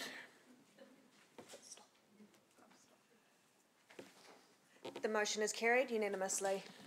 Thank you, team. It was really good, really good. Okay, we'll keep an eye on those minutes. Great questions. Um, moving on to the civil defence update. Uh, this will be a verbal report from Kelvin. Uh, this is item number eight, and it's on page 30 of Diligent. Not there's much to read there, but page 30. So, yours, Kelvin, you have 35 seconds. Good morning, Chair, and good morning, councillors. Uh, Chair, firstly, thank you for your indulgence in allowing me to uh, make a verbal report today rather than the traditional written report. At the time that uh, it came to prepare the report for today, we were still uh, act actively engaged in our uh, COVID response. Um, look, just really want to touch on a, a, a bit of a quick overview of where we've got to. Um, obviously, the 26th of March was the declaration, of the National De Declaration of Emergency. We activated our Emergency Operations Centre at, at uh, over at uh, the Genesis building. It was a little different this time, and we operated in conjunction with Waikato District on a shared facility, which we uh, ran throughout uh, alert level four and three. Once we moved to alert level two, we actually expanded the area and we were, we were doing it for Thames Coromandel, Matamata Piako, uh, Hauraki, Waikato District and Hamilton. Um, and then on the 2nd of June, uh, we closed down the facility. We have still continuing today to provide uh, financial support to food banks up until the 30th of June, in which case it transitions to Ministry of Social Development. And we're also monitoring and providing ongoing financial support to foreign nationals uh, until the end of the month, at which time uh, that will then transition to the Department of Internal Affairs. Um, we operated in total for 69 days. We had 62 uh, Hamilton City Council staff who were involved in the, the, the response. We operated for other than the last th three weeks, we operated the first seven weeks on seven days a week uh, and had a welfare helpline which operated from 7am to 7pm each day of the week. Uh, we were effectively a provider of, I say, of last resort. We were, if, if people were not connected to a provider with another government agency and they were without food or accommodation uh, in particular, that fell to civil defence to, uh, in fact, uh, support those people until such time as we could then align them with a, another provider who could take over a longer term uh, process around that. Um, we look our costs for running the operation, excluding obviously staff salaries, 1.6 million on emergency food, food bank support and emergency accommodation. Um, and there was a small bit on food support for animals. Um, our initial actions were focused on the immediate food demand through vouchers and shopping for vulnerable people. And at that stage, the structures and systems weren't in place, so it was pretty helter skelter right at the very start when we first went into alert level four. Uh, that transitioned um, then to being able to provide ongoing support and assistance that was for accommodation, feeding and clothing people, psychological support, and support for their companion animals, and the provision of emergency accommodation for those who were unable to stay in their usual place of residence um, or had no means of self isolating during, alert levels four and three. Um, in those early days, we did um, 240 uh, deliveries of household goods, which was everything from supermarket vouchers, emergency food parcels, and blankets. Uh, we took 1,600 calls on the emergency helpline for people requesting support and assistance. Uh, we provided 201 nights accommodation for people who were with nowhere to stay. Uh, and then, say, the we spent 1.2 million on supporting food banks and uh, the pre preparation of uh, frozen meals and or here to help support who were able to and, and then support across the wider community. Um, that looks like 84,000 individuals who were served meals, uh, either through food parcels or frozen meals. We were averaging um, through here to help 885 uh, meals per day, frozen meals per day that were going out, 145 food parcels a day, uh, and a further 6,500 meals that went out of Hamilton into the wider Waikato uh, region. I guess in terms of some context around that, this is the second only national uh, declaration of emergency we've ever had in New Zealand, the first being the Christchurch earthquake that this was different in that it affected every part of New Zealand simultaneously. Um, it's only the second ever time that we can find that Hamilton has activated, the first being obviously for Whakaari White Island just before Christmas. Uh, and it was the longevity of, or the expected longevity of this, we were setting up to um, be prepared to respond through to at least Christmas of this year, which was some of the initial um, projections of what the impact was going to be. Uh, the fact that we've got on top of it signific significantly sooner uh, says an immense amount about um, I will, if we look back on what we've achieved, there's a whole heap of positives and there's some learnings or challenges we're going to look at as we go away from here. First one was our ability to um, significantly meet the immediate needs of our communities. Um, we've tackled a whole heap of vulnerability in a fresh and different way. And when I say we, it's not just civil defence. Um, I think Hamilton has done something quite sp spectacular and special in the cumulative response. I think it's a template that others I know are looking at of how a community as Hamilton Inc. came together, made up of concerned citizens and NGOs and the council and civil defence, and uh, and using council facilities such as we did with Claudelands and using staffing over there who were redirected. we, and using obviously a, a provider like Montana, we did something really, really special.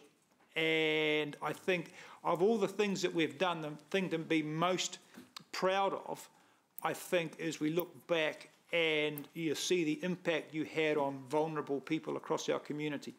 Uh, and so that was something we look at. I think we showed that we could be flexible and adaptable because, I mean, the, the goalposts kept changing and we had to keep uh, reinventing ourselves. Um, we gave a lot of people in Hamilton, some Hamilton City Council, some experience in a real live civil defence event. One of the issues that we previously suffered from was uh, a lack of experience uh, of, of our staff in dealing with real events. So this is an opportunity for us to have actually um, given people a great deal of of confidence and experience. And so I would like to be able to say that we can say with a good degree of uh, clarity for Council that you should have some confidence now when and if we have our next event in Hamilton of some disaster or emergency, you should have confidence that we can uh, mobilise and have a professional response. I think one of the things that came out of it was some relationship stuff. We did working cross councils. We started doing it with two and ended up with five councils. That was something unique and different.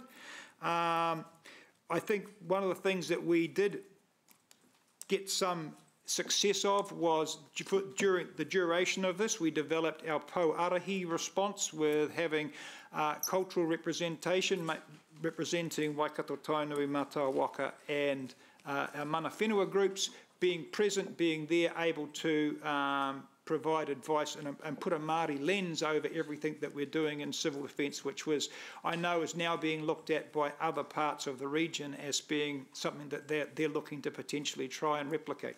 Okay, thank you, Kelvin. I think we'll draw it to close. Okay. And uh, anything else we'll eke out through questions, if we may. Um, but uh, thank you very much. Um, I'll, I'll, move that we receive the verbal report first of all. Do I have a seconder? Uh, thank you, Council, uh, Deputy Mayor Taylor. Uh, Councillor O'Leary, you had some questions?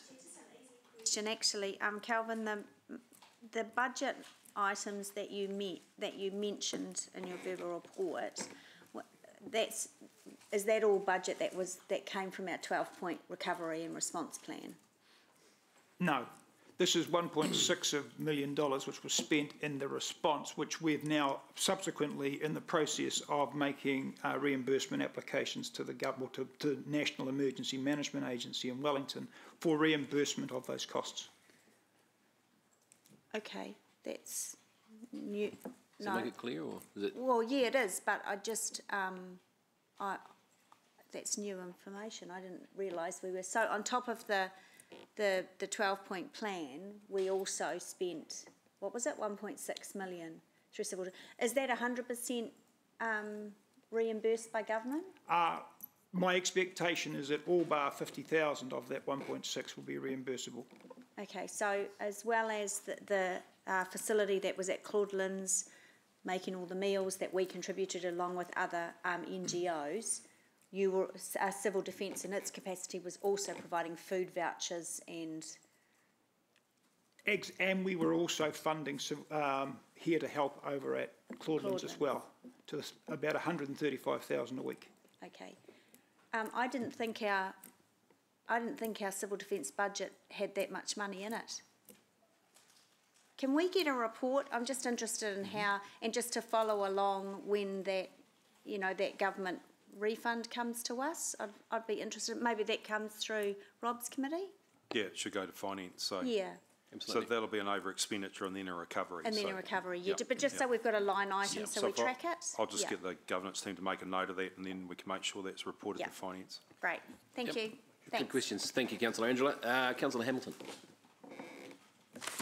Thanks, Chair.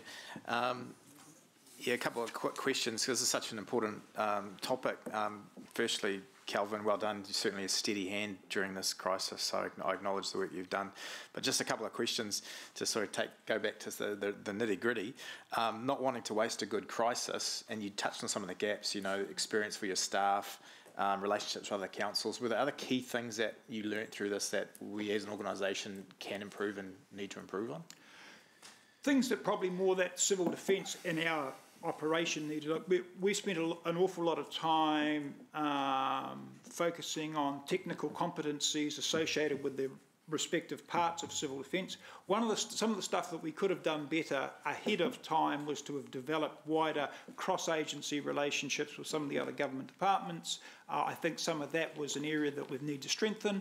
Uh, I think our reach and touch with, for example, K'aute Pasifika and some of the other, you know, the, the Runanga who were out doing their own work and we were just a little bit uh, removed from their reporting. So there's some stuff around the community engagement componentry I think we need to work on. And you'll, I'll assume that you'll continue to build on that now that you've got that momentum. Absolutely. Thanks. The other quick question was um, previously you used to do sort of like a traffic light report, and appreciate you couldn't present that today. I, I, and and we, we had some quite big shortfalls on that in terms of where, where we should be. Is that still a project you're working on, or you, you talked about you sort of moved on from that sort of analysis? They, they, that's our yearly work plan. Uh, I think you'll appreciate the yearly work plan got suspended uh, when we've been doing this full time for the last three months. But yes, there is still a yearly work plan. We've just revisited it again uh, with a view to refreshing that. And when I come back with a written report, I'll have a, a refreshed update of that. Mm. Thanks, Calvin. Thanks, Thank Chair. you, Ryan. Um, Mangai Tua.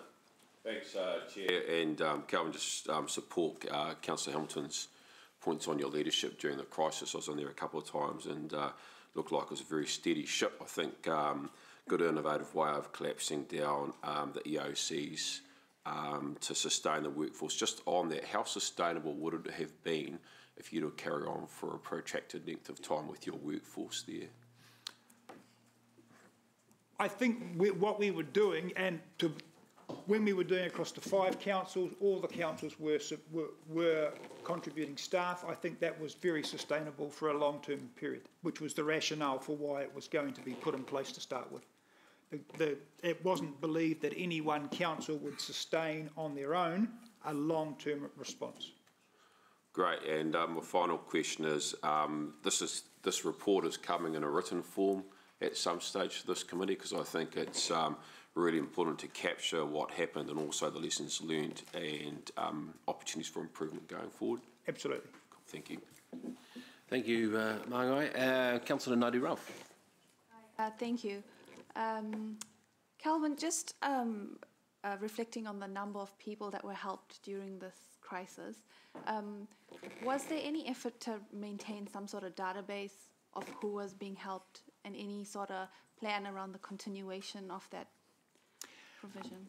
We have a database of, of all of the calls that we received, what their requests for service were, and how we dealt with those from a civil defence perspective. But as I said at the start, our, our role was to provide the immediate or the last resort uh, intervention with a view to do the immediacy part, which was often overnight or over a weekend, with a view to then aligning that person or that family with a long term service provider who could take that going forward. So ours were very short term. Um, three days would potentially be the longest we would be looking to, to, to be supporting someone before they would, went to Ministry of Business and Innovation or whether it was Ministry of Social Development or whoever the appropriate agency was. So was that handover done? There was a handover done with them, yes. Awesome, thank you. Thank you, um, Councillor Kish. Councillor Wilson. Thank you, uh, Chair Mark. Calvin, my question is relating to costs. Uh, in addition to the 1.6 million, which we are hoping to get a refund of all but 50,000, uh, have you sat about and tried to identify the cost of staff time that has been taken away from their normal job? And were there any additional costs that we had to incur to, to attract uh, um, temporary staff to fill urgent jobs that the staff that have been allocated to civil defence couldn't do? The, to answer the last part of your question, no. I'm not aware of anyone who had to employ anyone on a.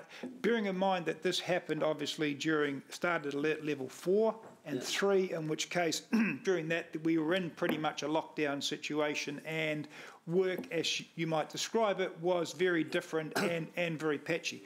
A number of the people we had working for us were from roles where they would not have been able to operate in their core business under alert four or three.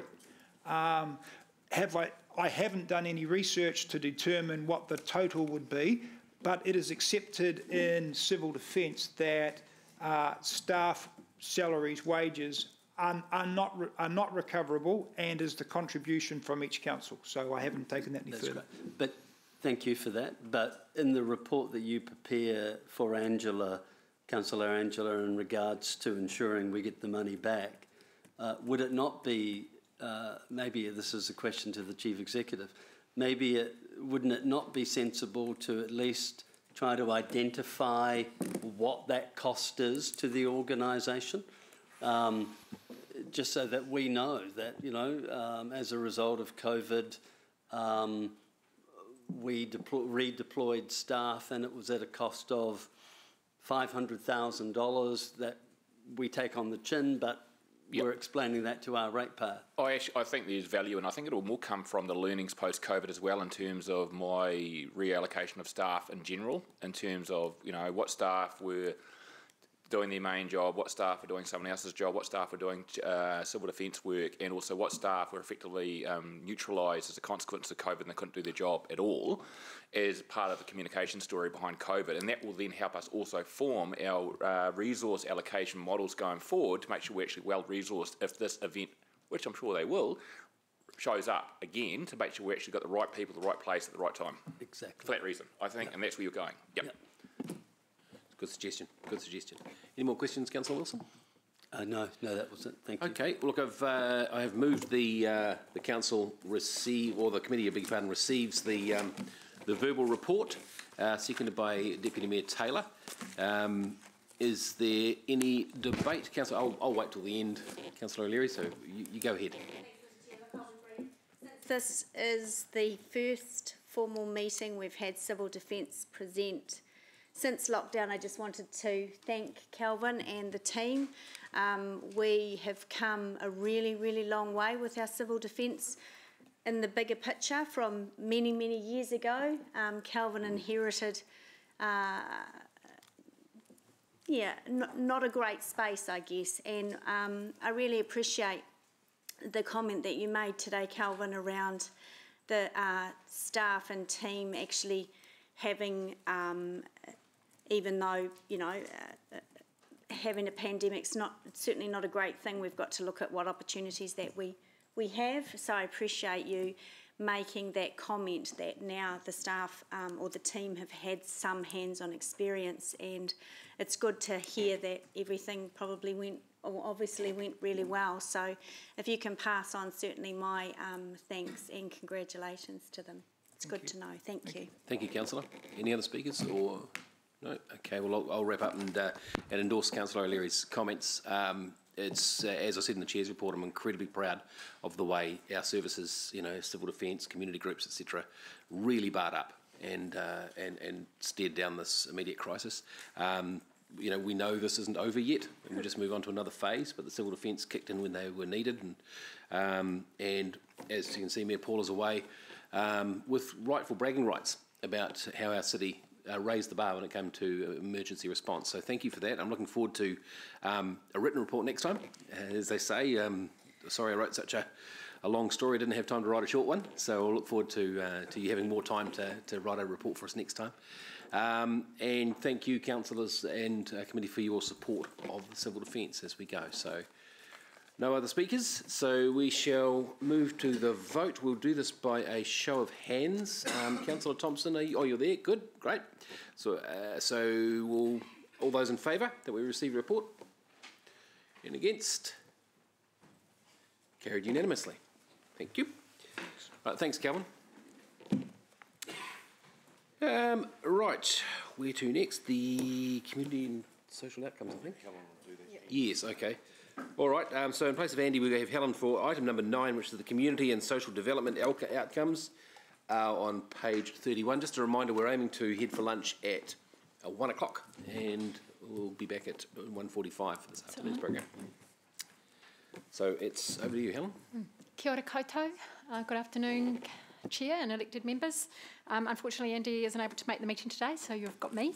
Um, and really, the intent of this report is to um, just outline the uh, outcomes of the community and social development team, and also just to seek some approval for some of the monitoring and reporting um, framework that we're proposing within this report. Um, there have been questions at times around specific metrics for the work that this team do. And I guess I just want to emphasise today that that is something that can be very difficult. This is this team has largely a, a community support function. It's ideal that they can be as responsive as possible within the community. And really, just listening to Calvin as he was speaking, I think it's important to point out that.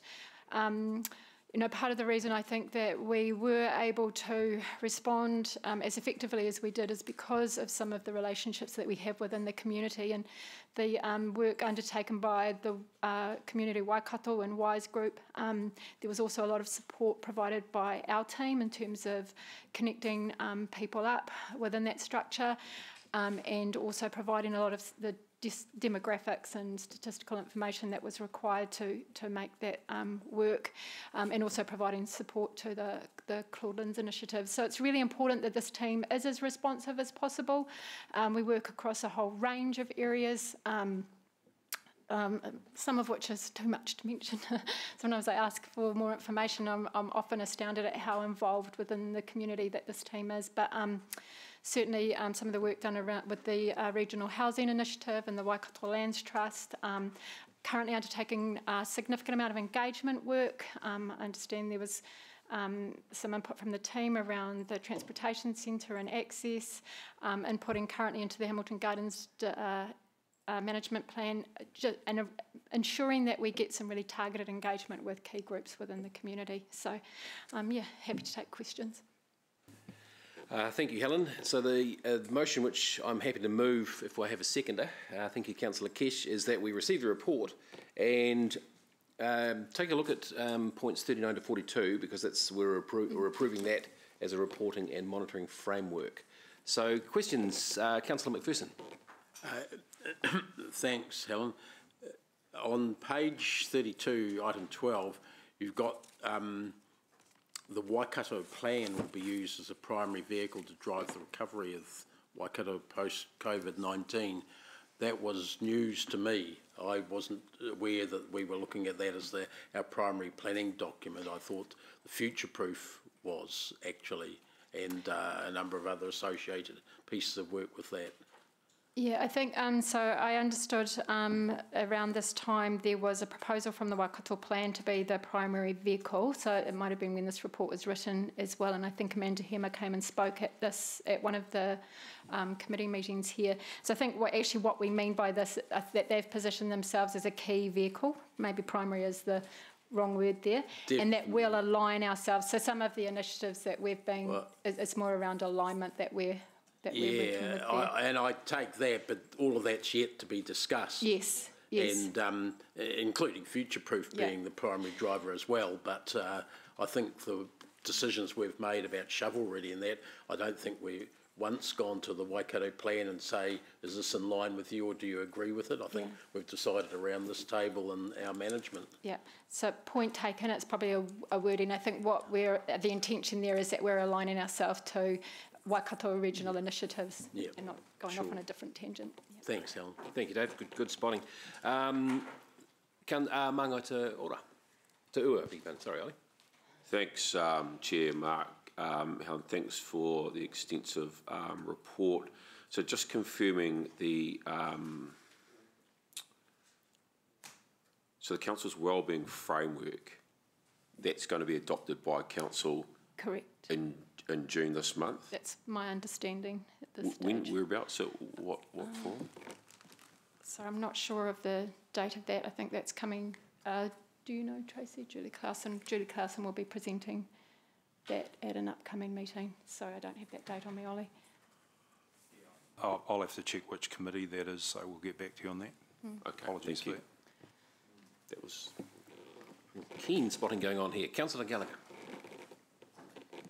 Yes, just following on from Councillor Macpherson's point vis-à-vis future-proof Waikato plan, um, either to the chair or to you, um, would there be an intent to bring relevant um, staff or representatives from those groups so we can be crystal clear as to where we we, we fit in? I mean, my own view is the Waikato plan still has to prove itself as the as the vehicle. Yes. Future-proof, I think, is beyond question. It's an excellent, excellent vehicle.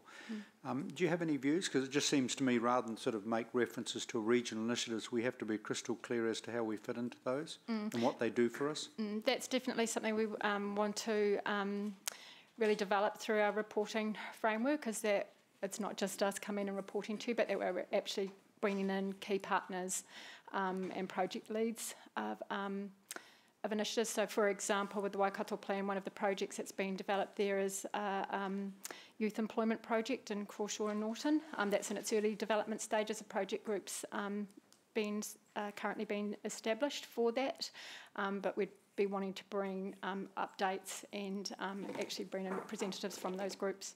Just seems to me, and again, I'm seeking some uh, guidance, if you like, the role of this committee. I mean, we've had the newly formed Housing Trust. Mm. Uh, obviously, at an early stage, I want to get together and see their runs on the board, and I don't mean just an informal Zoom type session. I mean coming here in terms of the accountability for the money that we spend and the money that we spend on all these projects, and I'm perhaps seeking advice as to the means by which this committee can get down and do some some significant work with these groups. Yes, so that's something that we can um, talk further with um, Mark around. We've had some preliminary conversations around that.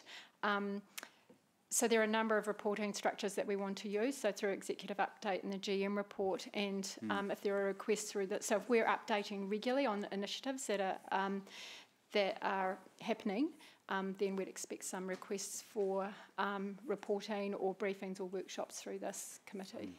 M- Mr Chair, question to you. I take it that you and your deputy will facilitate these opportunities because I think this is w- this is the Yeah, logical absolutely. committee. Be they through um, if we, if we could take that on board. Thank you. Yeah, thank you, Councillor Gallagher. Uh, Councillor Hamilton. Thanks, Chair. Uh, thanks, Helen, for your work here, and I appreciate this has been uh, there's been a few iterations to get to this point. Um, I'm just struggling a little bit to approve what is being asked today because we're, we're, we're being asked to approve some measurements with metrics that we haven't decided on, um, and then also the so uh, I would need to put this into a question. So how can we approve measurements when we haven't agreed to the metrics we're going to use those measurements by in 40 and 41? Mm. So I'm not specifically asking for approval of the measurements, but of the framework. So rather than coming up uh, with a separate uh, set of metrics for you know the work that the community and social development team do, what um, what we're asking approval for is that um, those metrics are reflected through that um, that wellbeing framework. So not a separate set of wellbeing measures, but um, but that the work is reflected in those wellbeing metrics that will be coming to council at some stage. So it's more around the framework. So what we're asking is that that we have um, more narrative reporting through this committee, through the executive update, and through GM report, because I think that's really important for this, the type of work that this team does. I think um, understanding the initiatives that they're working on, and they might not have specific metrics against those initiatives, but we know that they are making an impact or, or provide an enabling or supportive role within the community, and that any metrics are captured through the wellbeing framework that will be coming to council. So what, I, what, what we're asking for approval for is actually not to have a separate set of metrics. So you're asking us for, forget about the metrics because we can't approve those. You're asking us to approve a, a wellbeing framework that we haven't got. Uh, that, that the framework for this, I'm asking you to approve that the, that any metrics associated with the work this team do are reported through that wellbeing framework.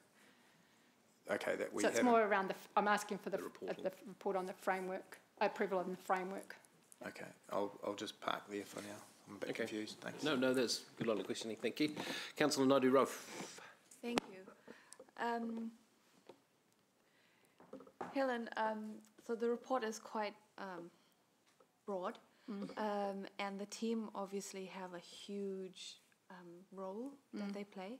Um, out of interest, how large is this team? Uh, the teams are uh, around uh, 14. And So, that covers the whole city? pardon, covers the whole city, yes. And um, how, because I note in one of your points, um, uh, where is it?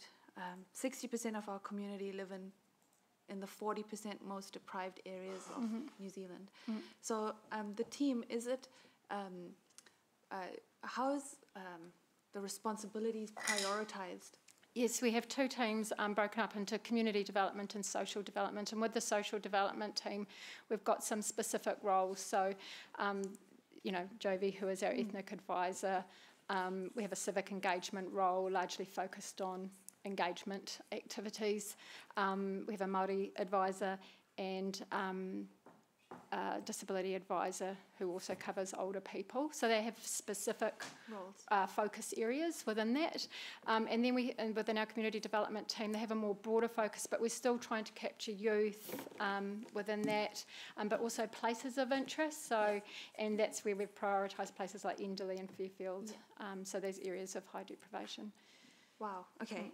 And um, so does the team work closely? Because I, I see one of the outcomes is uh, inclusive community engagement takes place within diverse communities. Mm. Um, so does the team, is it linked to the comms team? Like how does... Yes, so we've um, developed a, um, a relationship with the comms team, and um, we're supporting them with undertaking like targeted engagement. So either by working uh, with communities of place or communities of identity, whether that's youth or older people or disability, and um, ensuring that we get start to capture Got some you. voice. Yep. And um, last question, um, elected members, um, you know, we, we already have um, uh, links to the, into our communities. Mm. So where do you see, um, or do you see a role for elected members to play within this framework?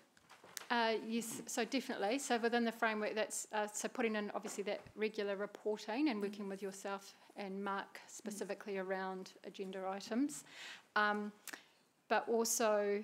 Uh, and a number of you have talked about it before, um, making sure that you're aware of different events and activities that are coming up, network meetings, obviously, um, making sure that we're taking good information into those network meetings. So, what's happening within council? What are some things that we want to make the, the community aware of? Where we want, you know, to um, have their input. What are they? What is that community interested that we can also so that we're taking information out as well as getting information in. Awesome. Mm, so- Thank you. Yep. Yeah, I think um, leveraging on your relationships Mm. and then um, working closely with our team. So I think that's really important uh, from a governance and, and staff level. So I think I think it's really good to have a governance face um, with the community, and and you may be hearing things that staff don't hear. I think that's quite important too. If you can feed that back Mm. through. Yeah. Oh, and so and just and just around because the the their work is so broad that sometimes um, obviously that you know what's a priority for for um, you know for you as governance that also helps to direct some of our activities. Yeah. Thank you, Helen. Um, Councillor O'Leary. Thank you, Mr Chair. Um, thanks for the report, Helen. Are we going, I'm just looking at page um, 36, so I'm looking at the measurement of outcomes also. Um, and you, you've just said ways including, and there's a, uh, four points there, and one of them is the quality of life biannual one. Are we still going to do the community profile surveys? Yes, we will still continue with those. And so how often do we do those? Um, annually. We do them annually, okay. Or updates on them. Yeah, okay. And so I guess once the well-beings get um, approved by council, then that will help form um, questions because the because those those particular surveys are um, I think are most valuable information uh, in, in terms of what you know what we'll want to try and deliver for the Yeah. well-beings. Yeah. Okay, and um, All right, I'll leave the rest for debate. Thank you. Thank you, uh, Councillor O'Leary. It's a lovely segue, actually. There's no more questions. Uh, yep. Oh, Councillor Hamilton. Hello. Just qu- question of clarity. Have you moved this? Uh, yes, yes, I've moved it together. Because I'd ask, I'd ask a question. If if you're not happy to, then I'll, I'll put forward an amendment. I just, and I, I'm not trying to be destructive or counterproductive, but I just feel like I cannot be approve a report and monitoring framework which we don't have with metrics we haven't decided on. So my my amendment, or if you would be to receive the report, because this will come back in a month or with the framework anyway, and it'll give us time to actually clarify all those elements. I just I just can't approve something that I can't see or something that I don't. It's it's it's a ghost-like amendment. Mm, I understand your point.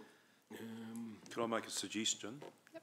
After staff report and B, put a comma and then say noting that community wellbeing metrics will be reported back to council for consideration. No, because it includes the framework too, which we don't we haven't approved. So there's, there's metrics and a framework. We're asking to approve both, and we haven't got either. All right, well, look, I'll, I'll see if there's an appetite around the room to put that uh, up as an amendment. Uh, if you have a seconder, uh, that we just receive the report. I'll second Councillor Hamilton's Okay. amendment. All right, that's fantastic. We'll move on to uh, debate then. Um, and uh, look, I'm just going to say thank you for the report. It's a it's a complicated area. Uh, it's like herding cats. And I appreciate that you have been quite wide, and I, I appreciate the intention of the framework, but I also appreciate the amendment. Um, so, Councillor Hamilton, I'll ask you to speak to the amendment, if that's all right, Councillor O'Leary, and then we'll go with you. Yeah, thanks, Chair. Look, totally um, supportive of what um, Helen's trying to do here, and, and it's I know it's had a second ish- iterations from previous staff, and you're trying to pull something together from Dr. Bev's report. Um, and I, I want to support that, but I'm just just just a technicality. I can't support something that I haven't they haven't got. So um, I just hope that it'll come back, and, and we've been told June, but I, I can't see that coming back in the next two weeks. The framework that's in the report. So we've got to thrash that out and bring it back so that we've got comfort around supporting these initiatives and well-being. So happy to support and, and endorse it. All I'm asking is just let's just take that off the table until we've had more visibility around it. Um, really simple. So yeah, that's all. Thank you. Thank you, Councillor Hamilton. Councillor O'Leary. Thank you. Um, I'm going to be supporting the amendment. It's just makes sense to me um, in terms of the right way to do things. Um, I did want to uh, acknowledge that I think, you know, over the years I've seen many iterations of strategies and plans that involve community development. Um, and I um, think that the work that has now, I've just lost my page, think that the work that has been done on uh, from from staff on the report and in terms of the strategy from um, Dr. Gatenby has been great. But uh, in particular, what I've appreciated about this in the report on page 33 is that it feels like for once there's some concrete definitions um, of, you know, we talk about communities of interest and communities of place and all of these things, but actually now um, in the report, communities of place are defined by geographical location. Communities of interest are brought together by a shared interest. You know, it talks about um, some of those uh, uh, precious communities like Enderley and Melville. Um, it talks about uh, ethnicity, gender, sexuality. It's very specific. It feels like there's some real meat on the bones now.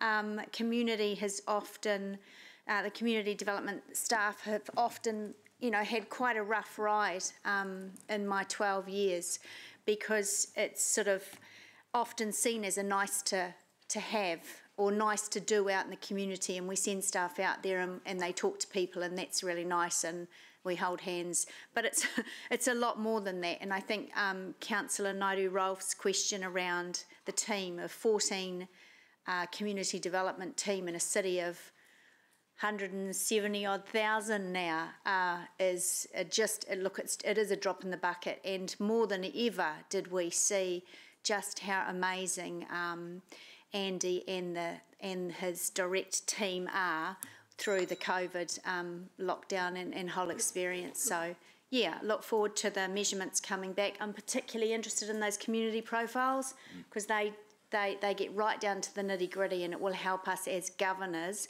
really as we move into the long-term plan, really put some resources in um, for the for the community development of our city. Thank you, Thanks. Councillor O'Leary. Appreciate the words. Uh, Mangatua. Thanks, uh, Chair. Mark. I support the amendment as well. I think it's uh, um, yeah, it's good. Be good to see the um, actual framework and the and the metrics there. And I just um, yeah speak um, to Councillor O'Leary's uh, point in terms of the great work that the community development team have done and do, and I think specifically during the civil defence activation, you really saw an alternative um, use of their relationships and skills to really uh, seamlessly flow into um, providing real value add um, for the city. I remember many times the ComDev team have been, you know, reviewed. Um, I think it's been a good um, for record to show just how um, valuable the community development team is to the city during a time of, of an emergency. I think they really stepped up and um, did a great job.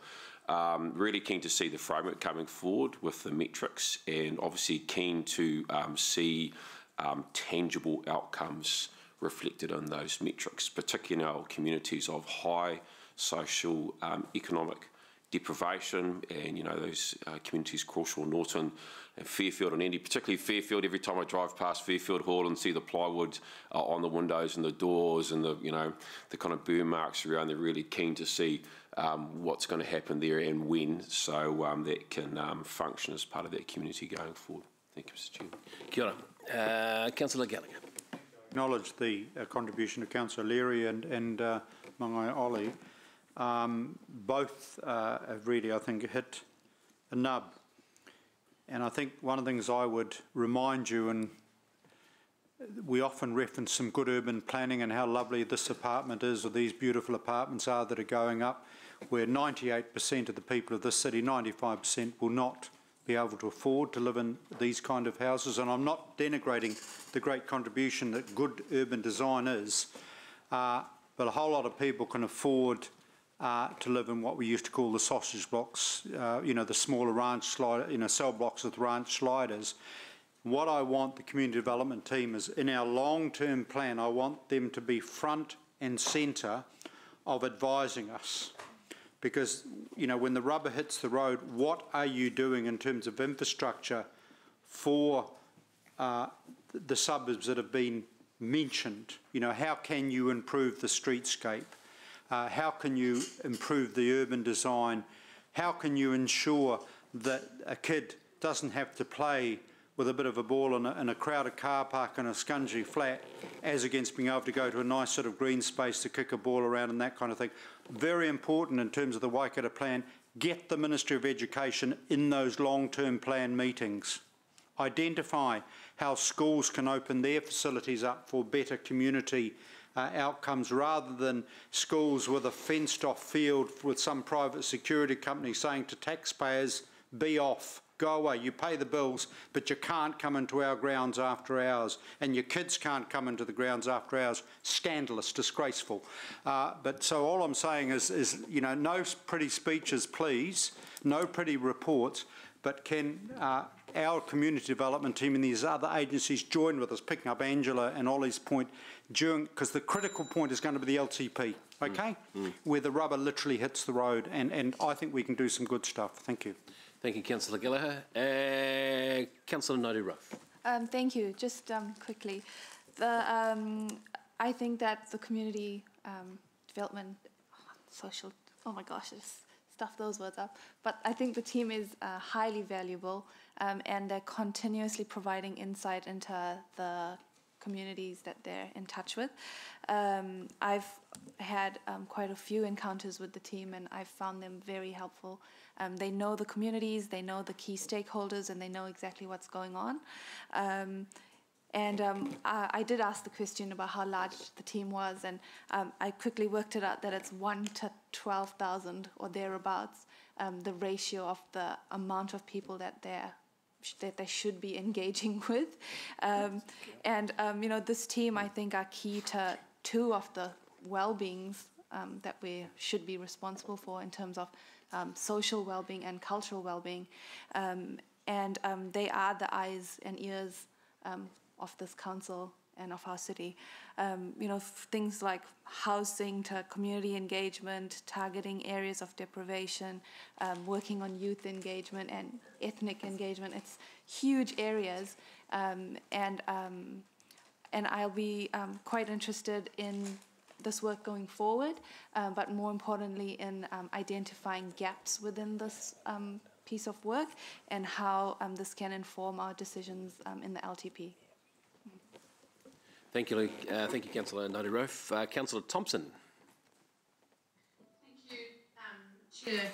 Firstly, I just wanted to acknowledge the amazing work that the community team does. I've had the privilege of working more closely with um, some of the staff around housing and the relationships that staff have um, with all different um, aspects of this, I guess, uh, the housing ecosystem and, and the community housing providers and regional housing initiative and researchers and all sorts um, is really impressive. So uh, we're in a really good position um, to collaborate and to work with partners because of that. And so I just wanted to acknowledge um, that work that's been happening there. Um, and just wanted to echo also, I think, uh, Kesha's comments around um, understanding where gaps are and where resources are most needed, and also Angela's comments around um, those community profiles so that we can see where, when we come to the LTP, where um, investment is, is going to be, I guess, uh, most needed or um, best utilised. Um, and so, yeah, really looking forward to seeing some more work around that um, as we head towards LTP. Thanks. Uh, thanks, Sarah. Uh, Mayor Southgate. Or did you just push a button? Oh, I'm sorry. Um, do you want to finish your mouthful? Dave, you were up there first. Sorry, mate. Okay, thanks.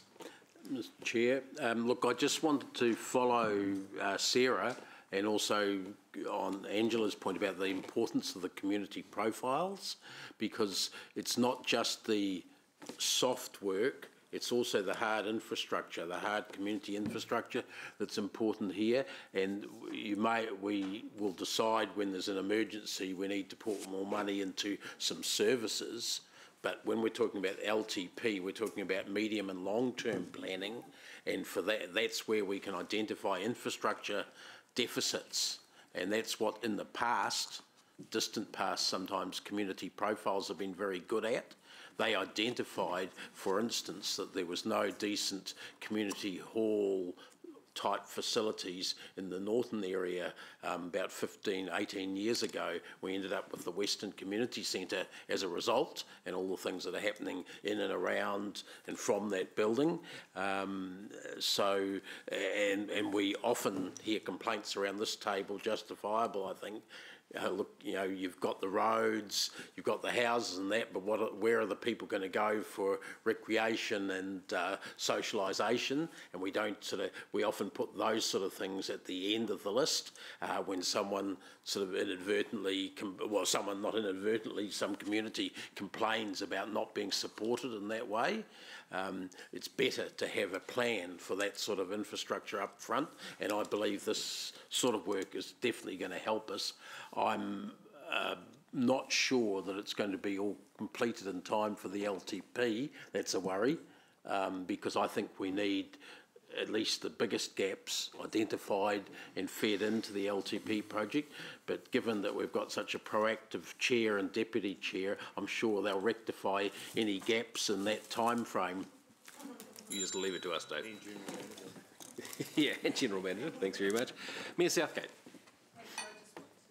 Applaud staff as well for the amount of work that's gone into this and um, it's really exciting for me to see so much of a focus on the broader community and social well-beings alongside the economic well-beings, which right now, of course, we've been um, focused on post-COVID. But at the bottom of the, at the end of the day, it's people that matter the most, and um, I think the team do a very good job. And Kesh is right; they do a great, good job across the broad city. They're very stretched, actually very stretched. So this is not one area of council that I would like to see come under the um, cuts. It needs to remain. In fact, we need to strengthen it. We shouldn't be leaving any particular community behind. And at the moment, this is needed more than ever because we have some very thriving and robust communities and we have some communities that have been left behind and are struggling. I've held a view for a long time that um, our community facilities need to be fit for purpose. And I've had these conversations when I was wearing your shoes, Mark, last last term, which is how do we provide facilities and enable communities to care for themselves. Sadly, some of the physical facilities that we have are either coming towards the end of their life or sorely need a big amount of maintenance and pull through.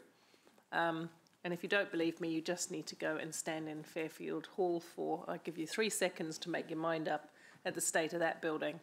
Um, and so, you know, going forward, I'm not blaming, I'm looking forward. I do want um, this work to inform the LTP so that we can put the right amount of resources around community well-being. Um, so you. as we build new communities that can have all the bright new shiny things, and should be built really well, we've got to remember that there's some existing communities. Um, and I recognise, for example, Councillor O'Leary as being an advocate for many years about the Frankton Plan. Um, and my understanding of the Frankton Plan, Angela, is that it's uh, own, only been scratched on the surface in terms of what is possible. So those are the kinds of things where we need to rebalance. Thank you.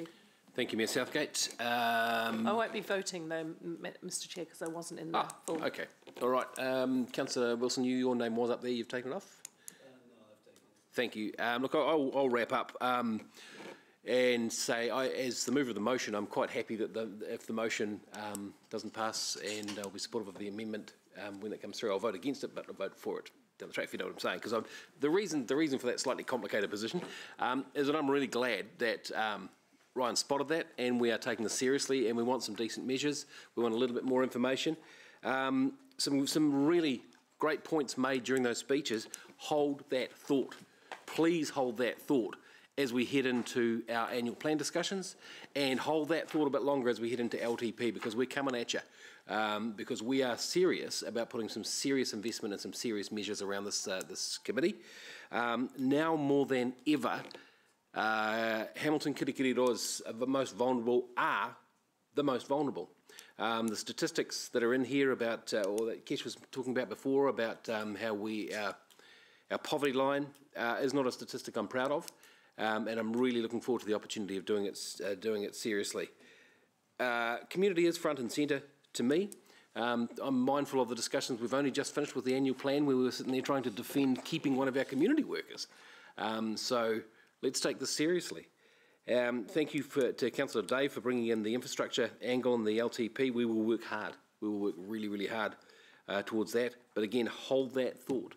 Um, I'd say a word to um, uh, to our friends at Kainga Ora that this is a council that is is very, very cognizant of our community infrastructure in all areas of town, in Flagstaff, in Enderley, in Nawton, in Huntington, and in Crawshaw we do take our most vulnerable seriously. And I say this is a council with a lot of heart and we will defend our soul. There you go, Lance. So I will be voting for the motion, but if that fails, I'll be supporting the amendment. So with that, we will have to go to the board, Becca, Becca, Becca, Becca, Becca. Um, so Paula, you're not voting in this one? So we'll put up the amendment first, Councillor Ham Hamilton's amendment that we just... Yes, absolutely. Uh, can you please put up the amendment? And that is just that we re received the report. Yeah, so the amendment is just that we received the report. Yeah, not yet, Paula. Okay, yeah, okay, cool.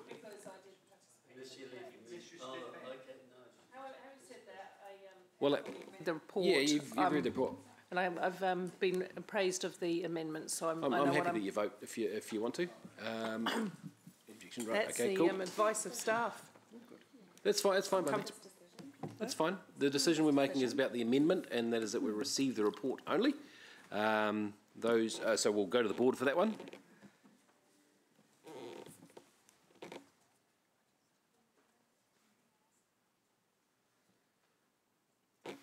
All there? Yeah. Okay, so the amendment uh, now becomes a substantive motion. Sorry. Can I just call it? Yeah. Uh, so the amendment is carried, 843 against, noting that Councillor Thomson voted against the matter via audiovisual link. Oh, so that is actually Uh, sorry, four against. Four against. Happy with that? Everyone understand? Okay, so the amendment now becomes a substantive motion. The amendment is that we, or the motion is now that we receive the report. To the board, please.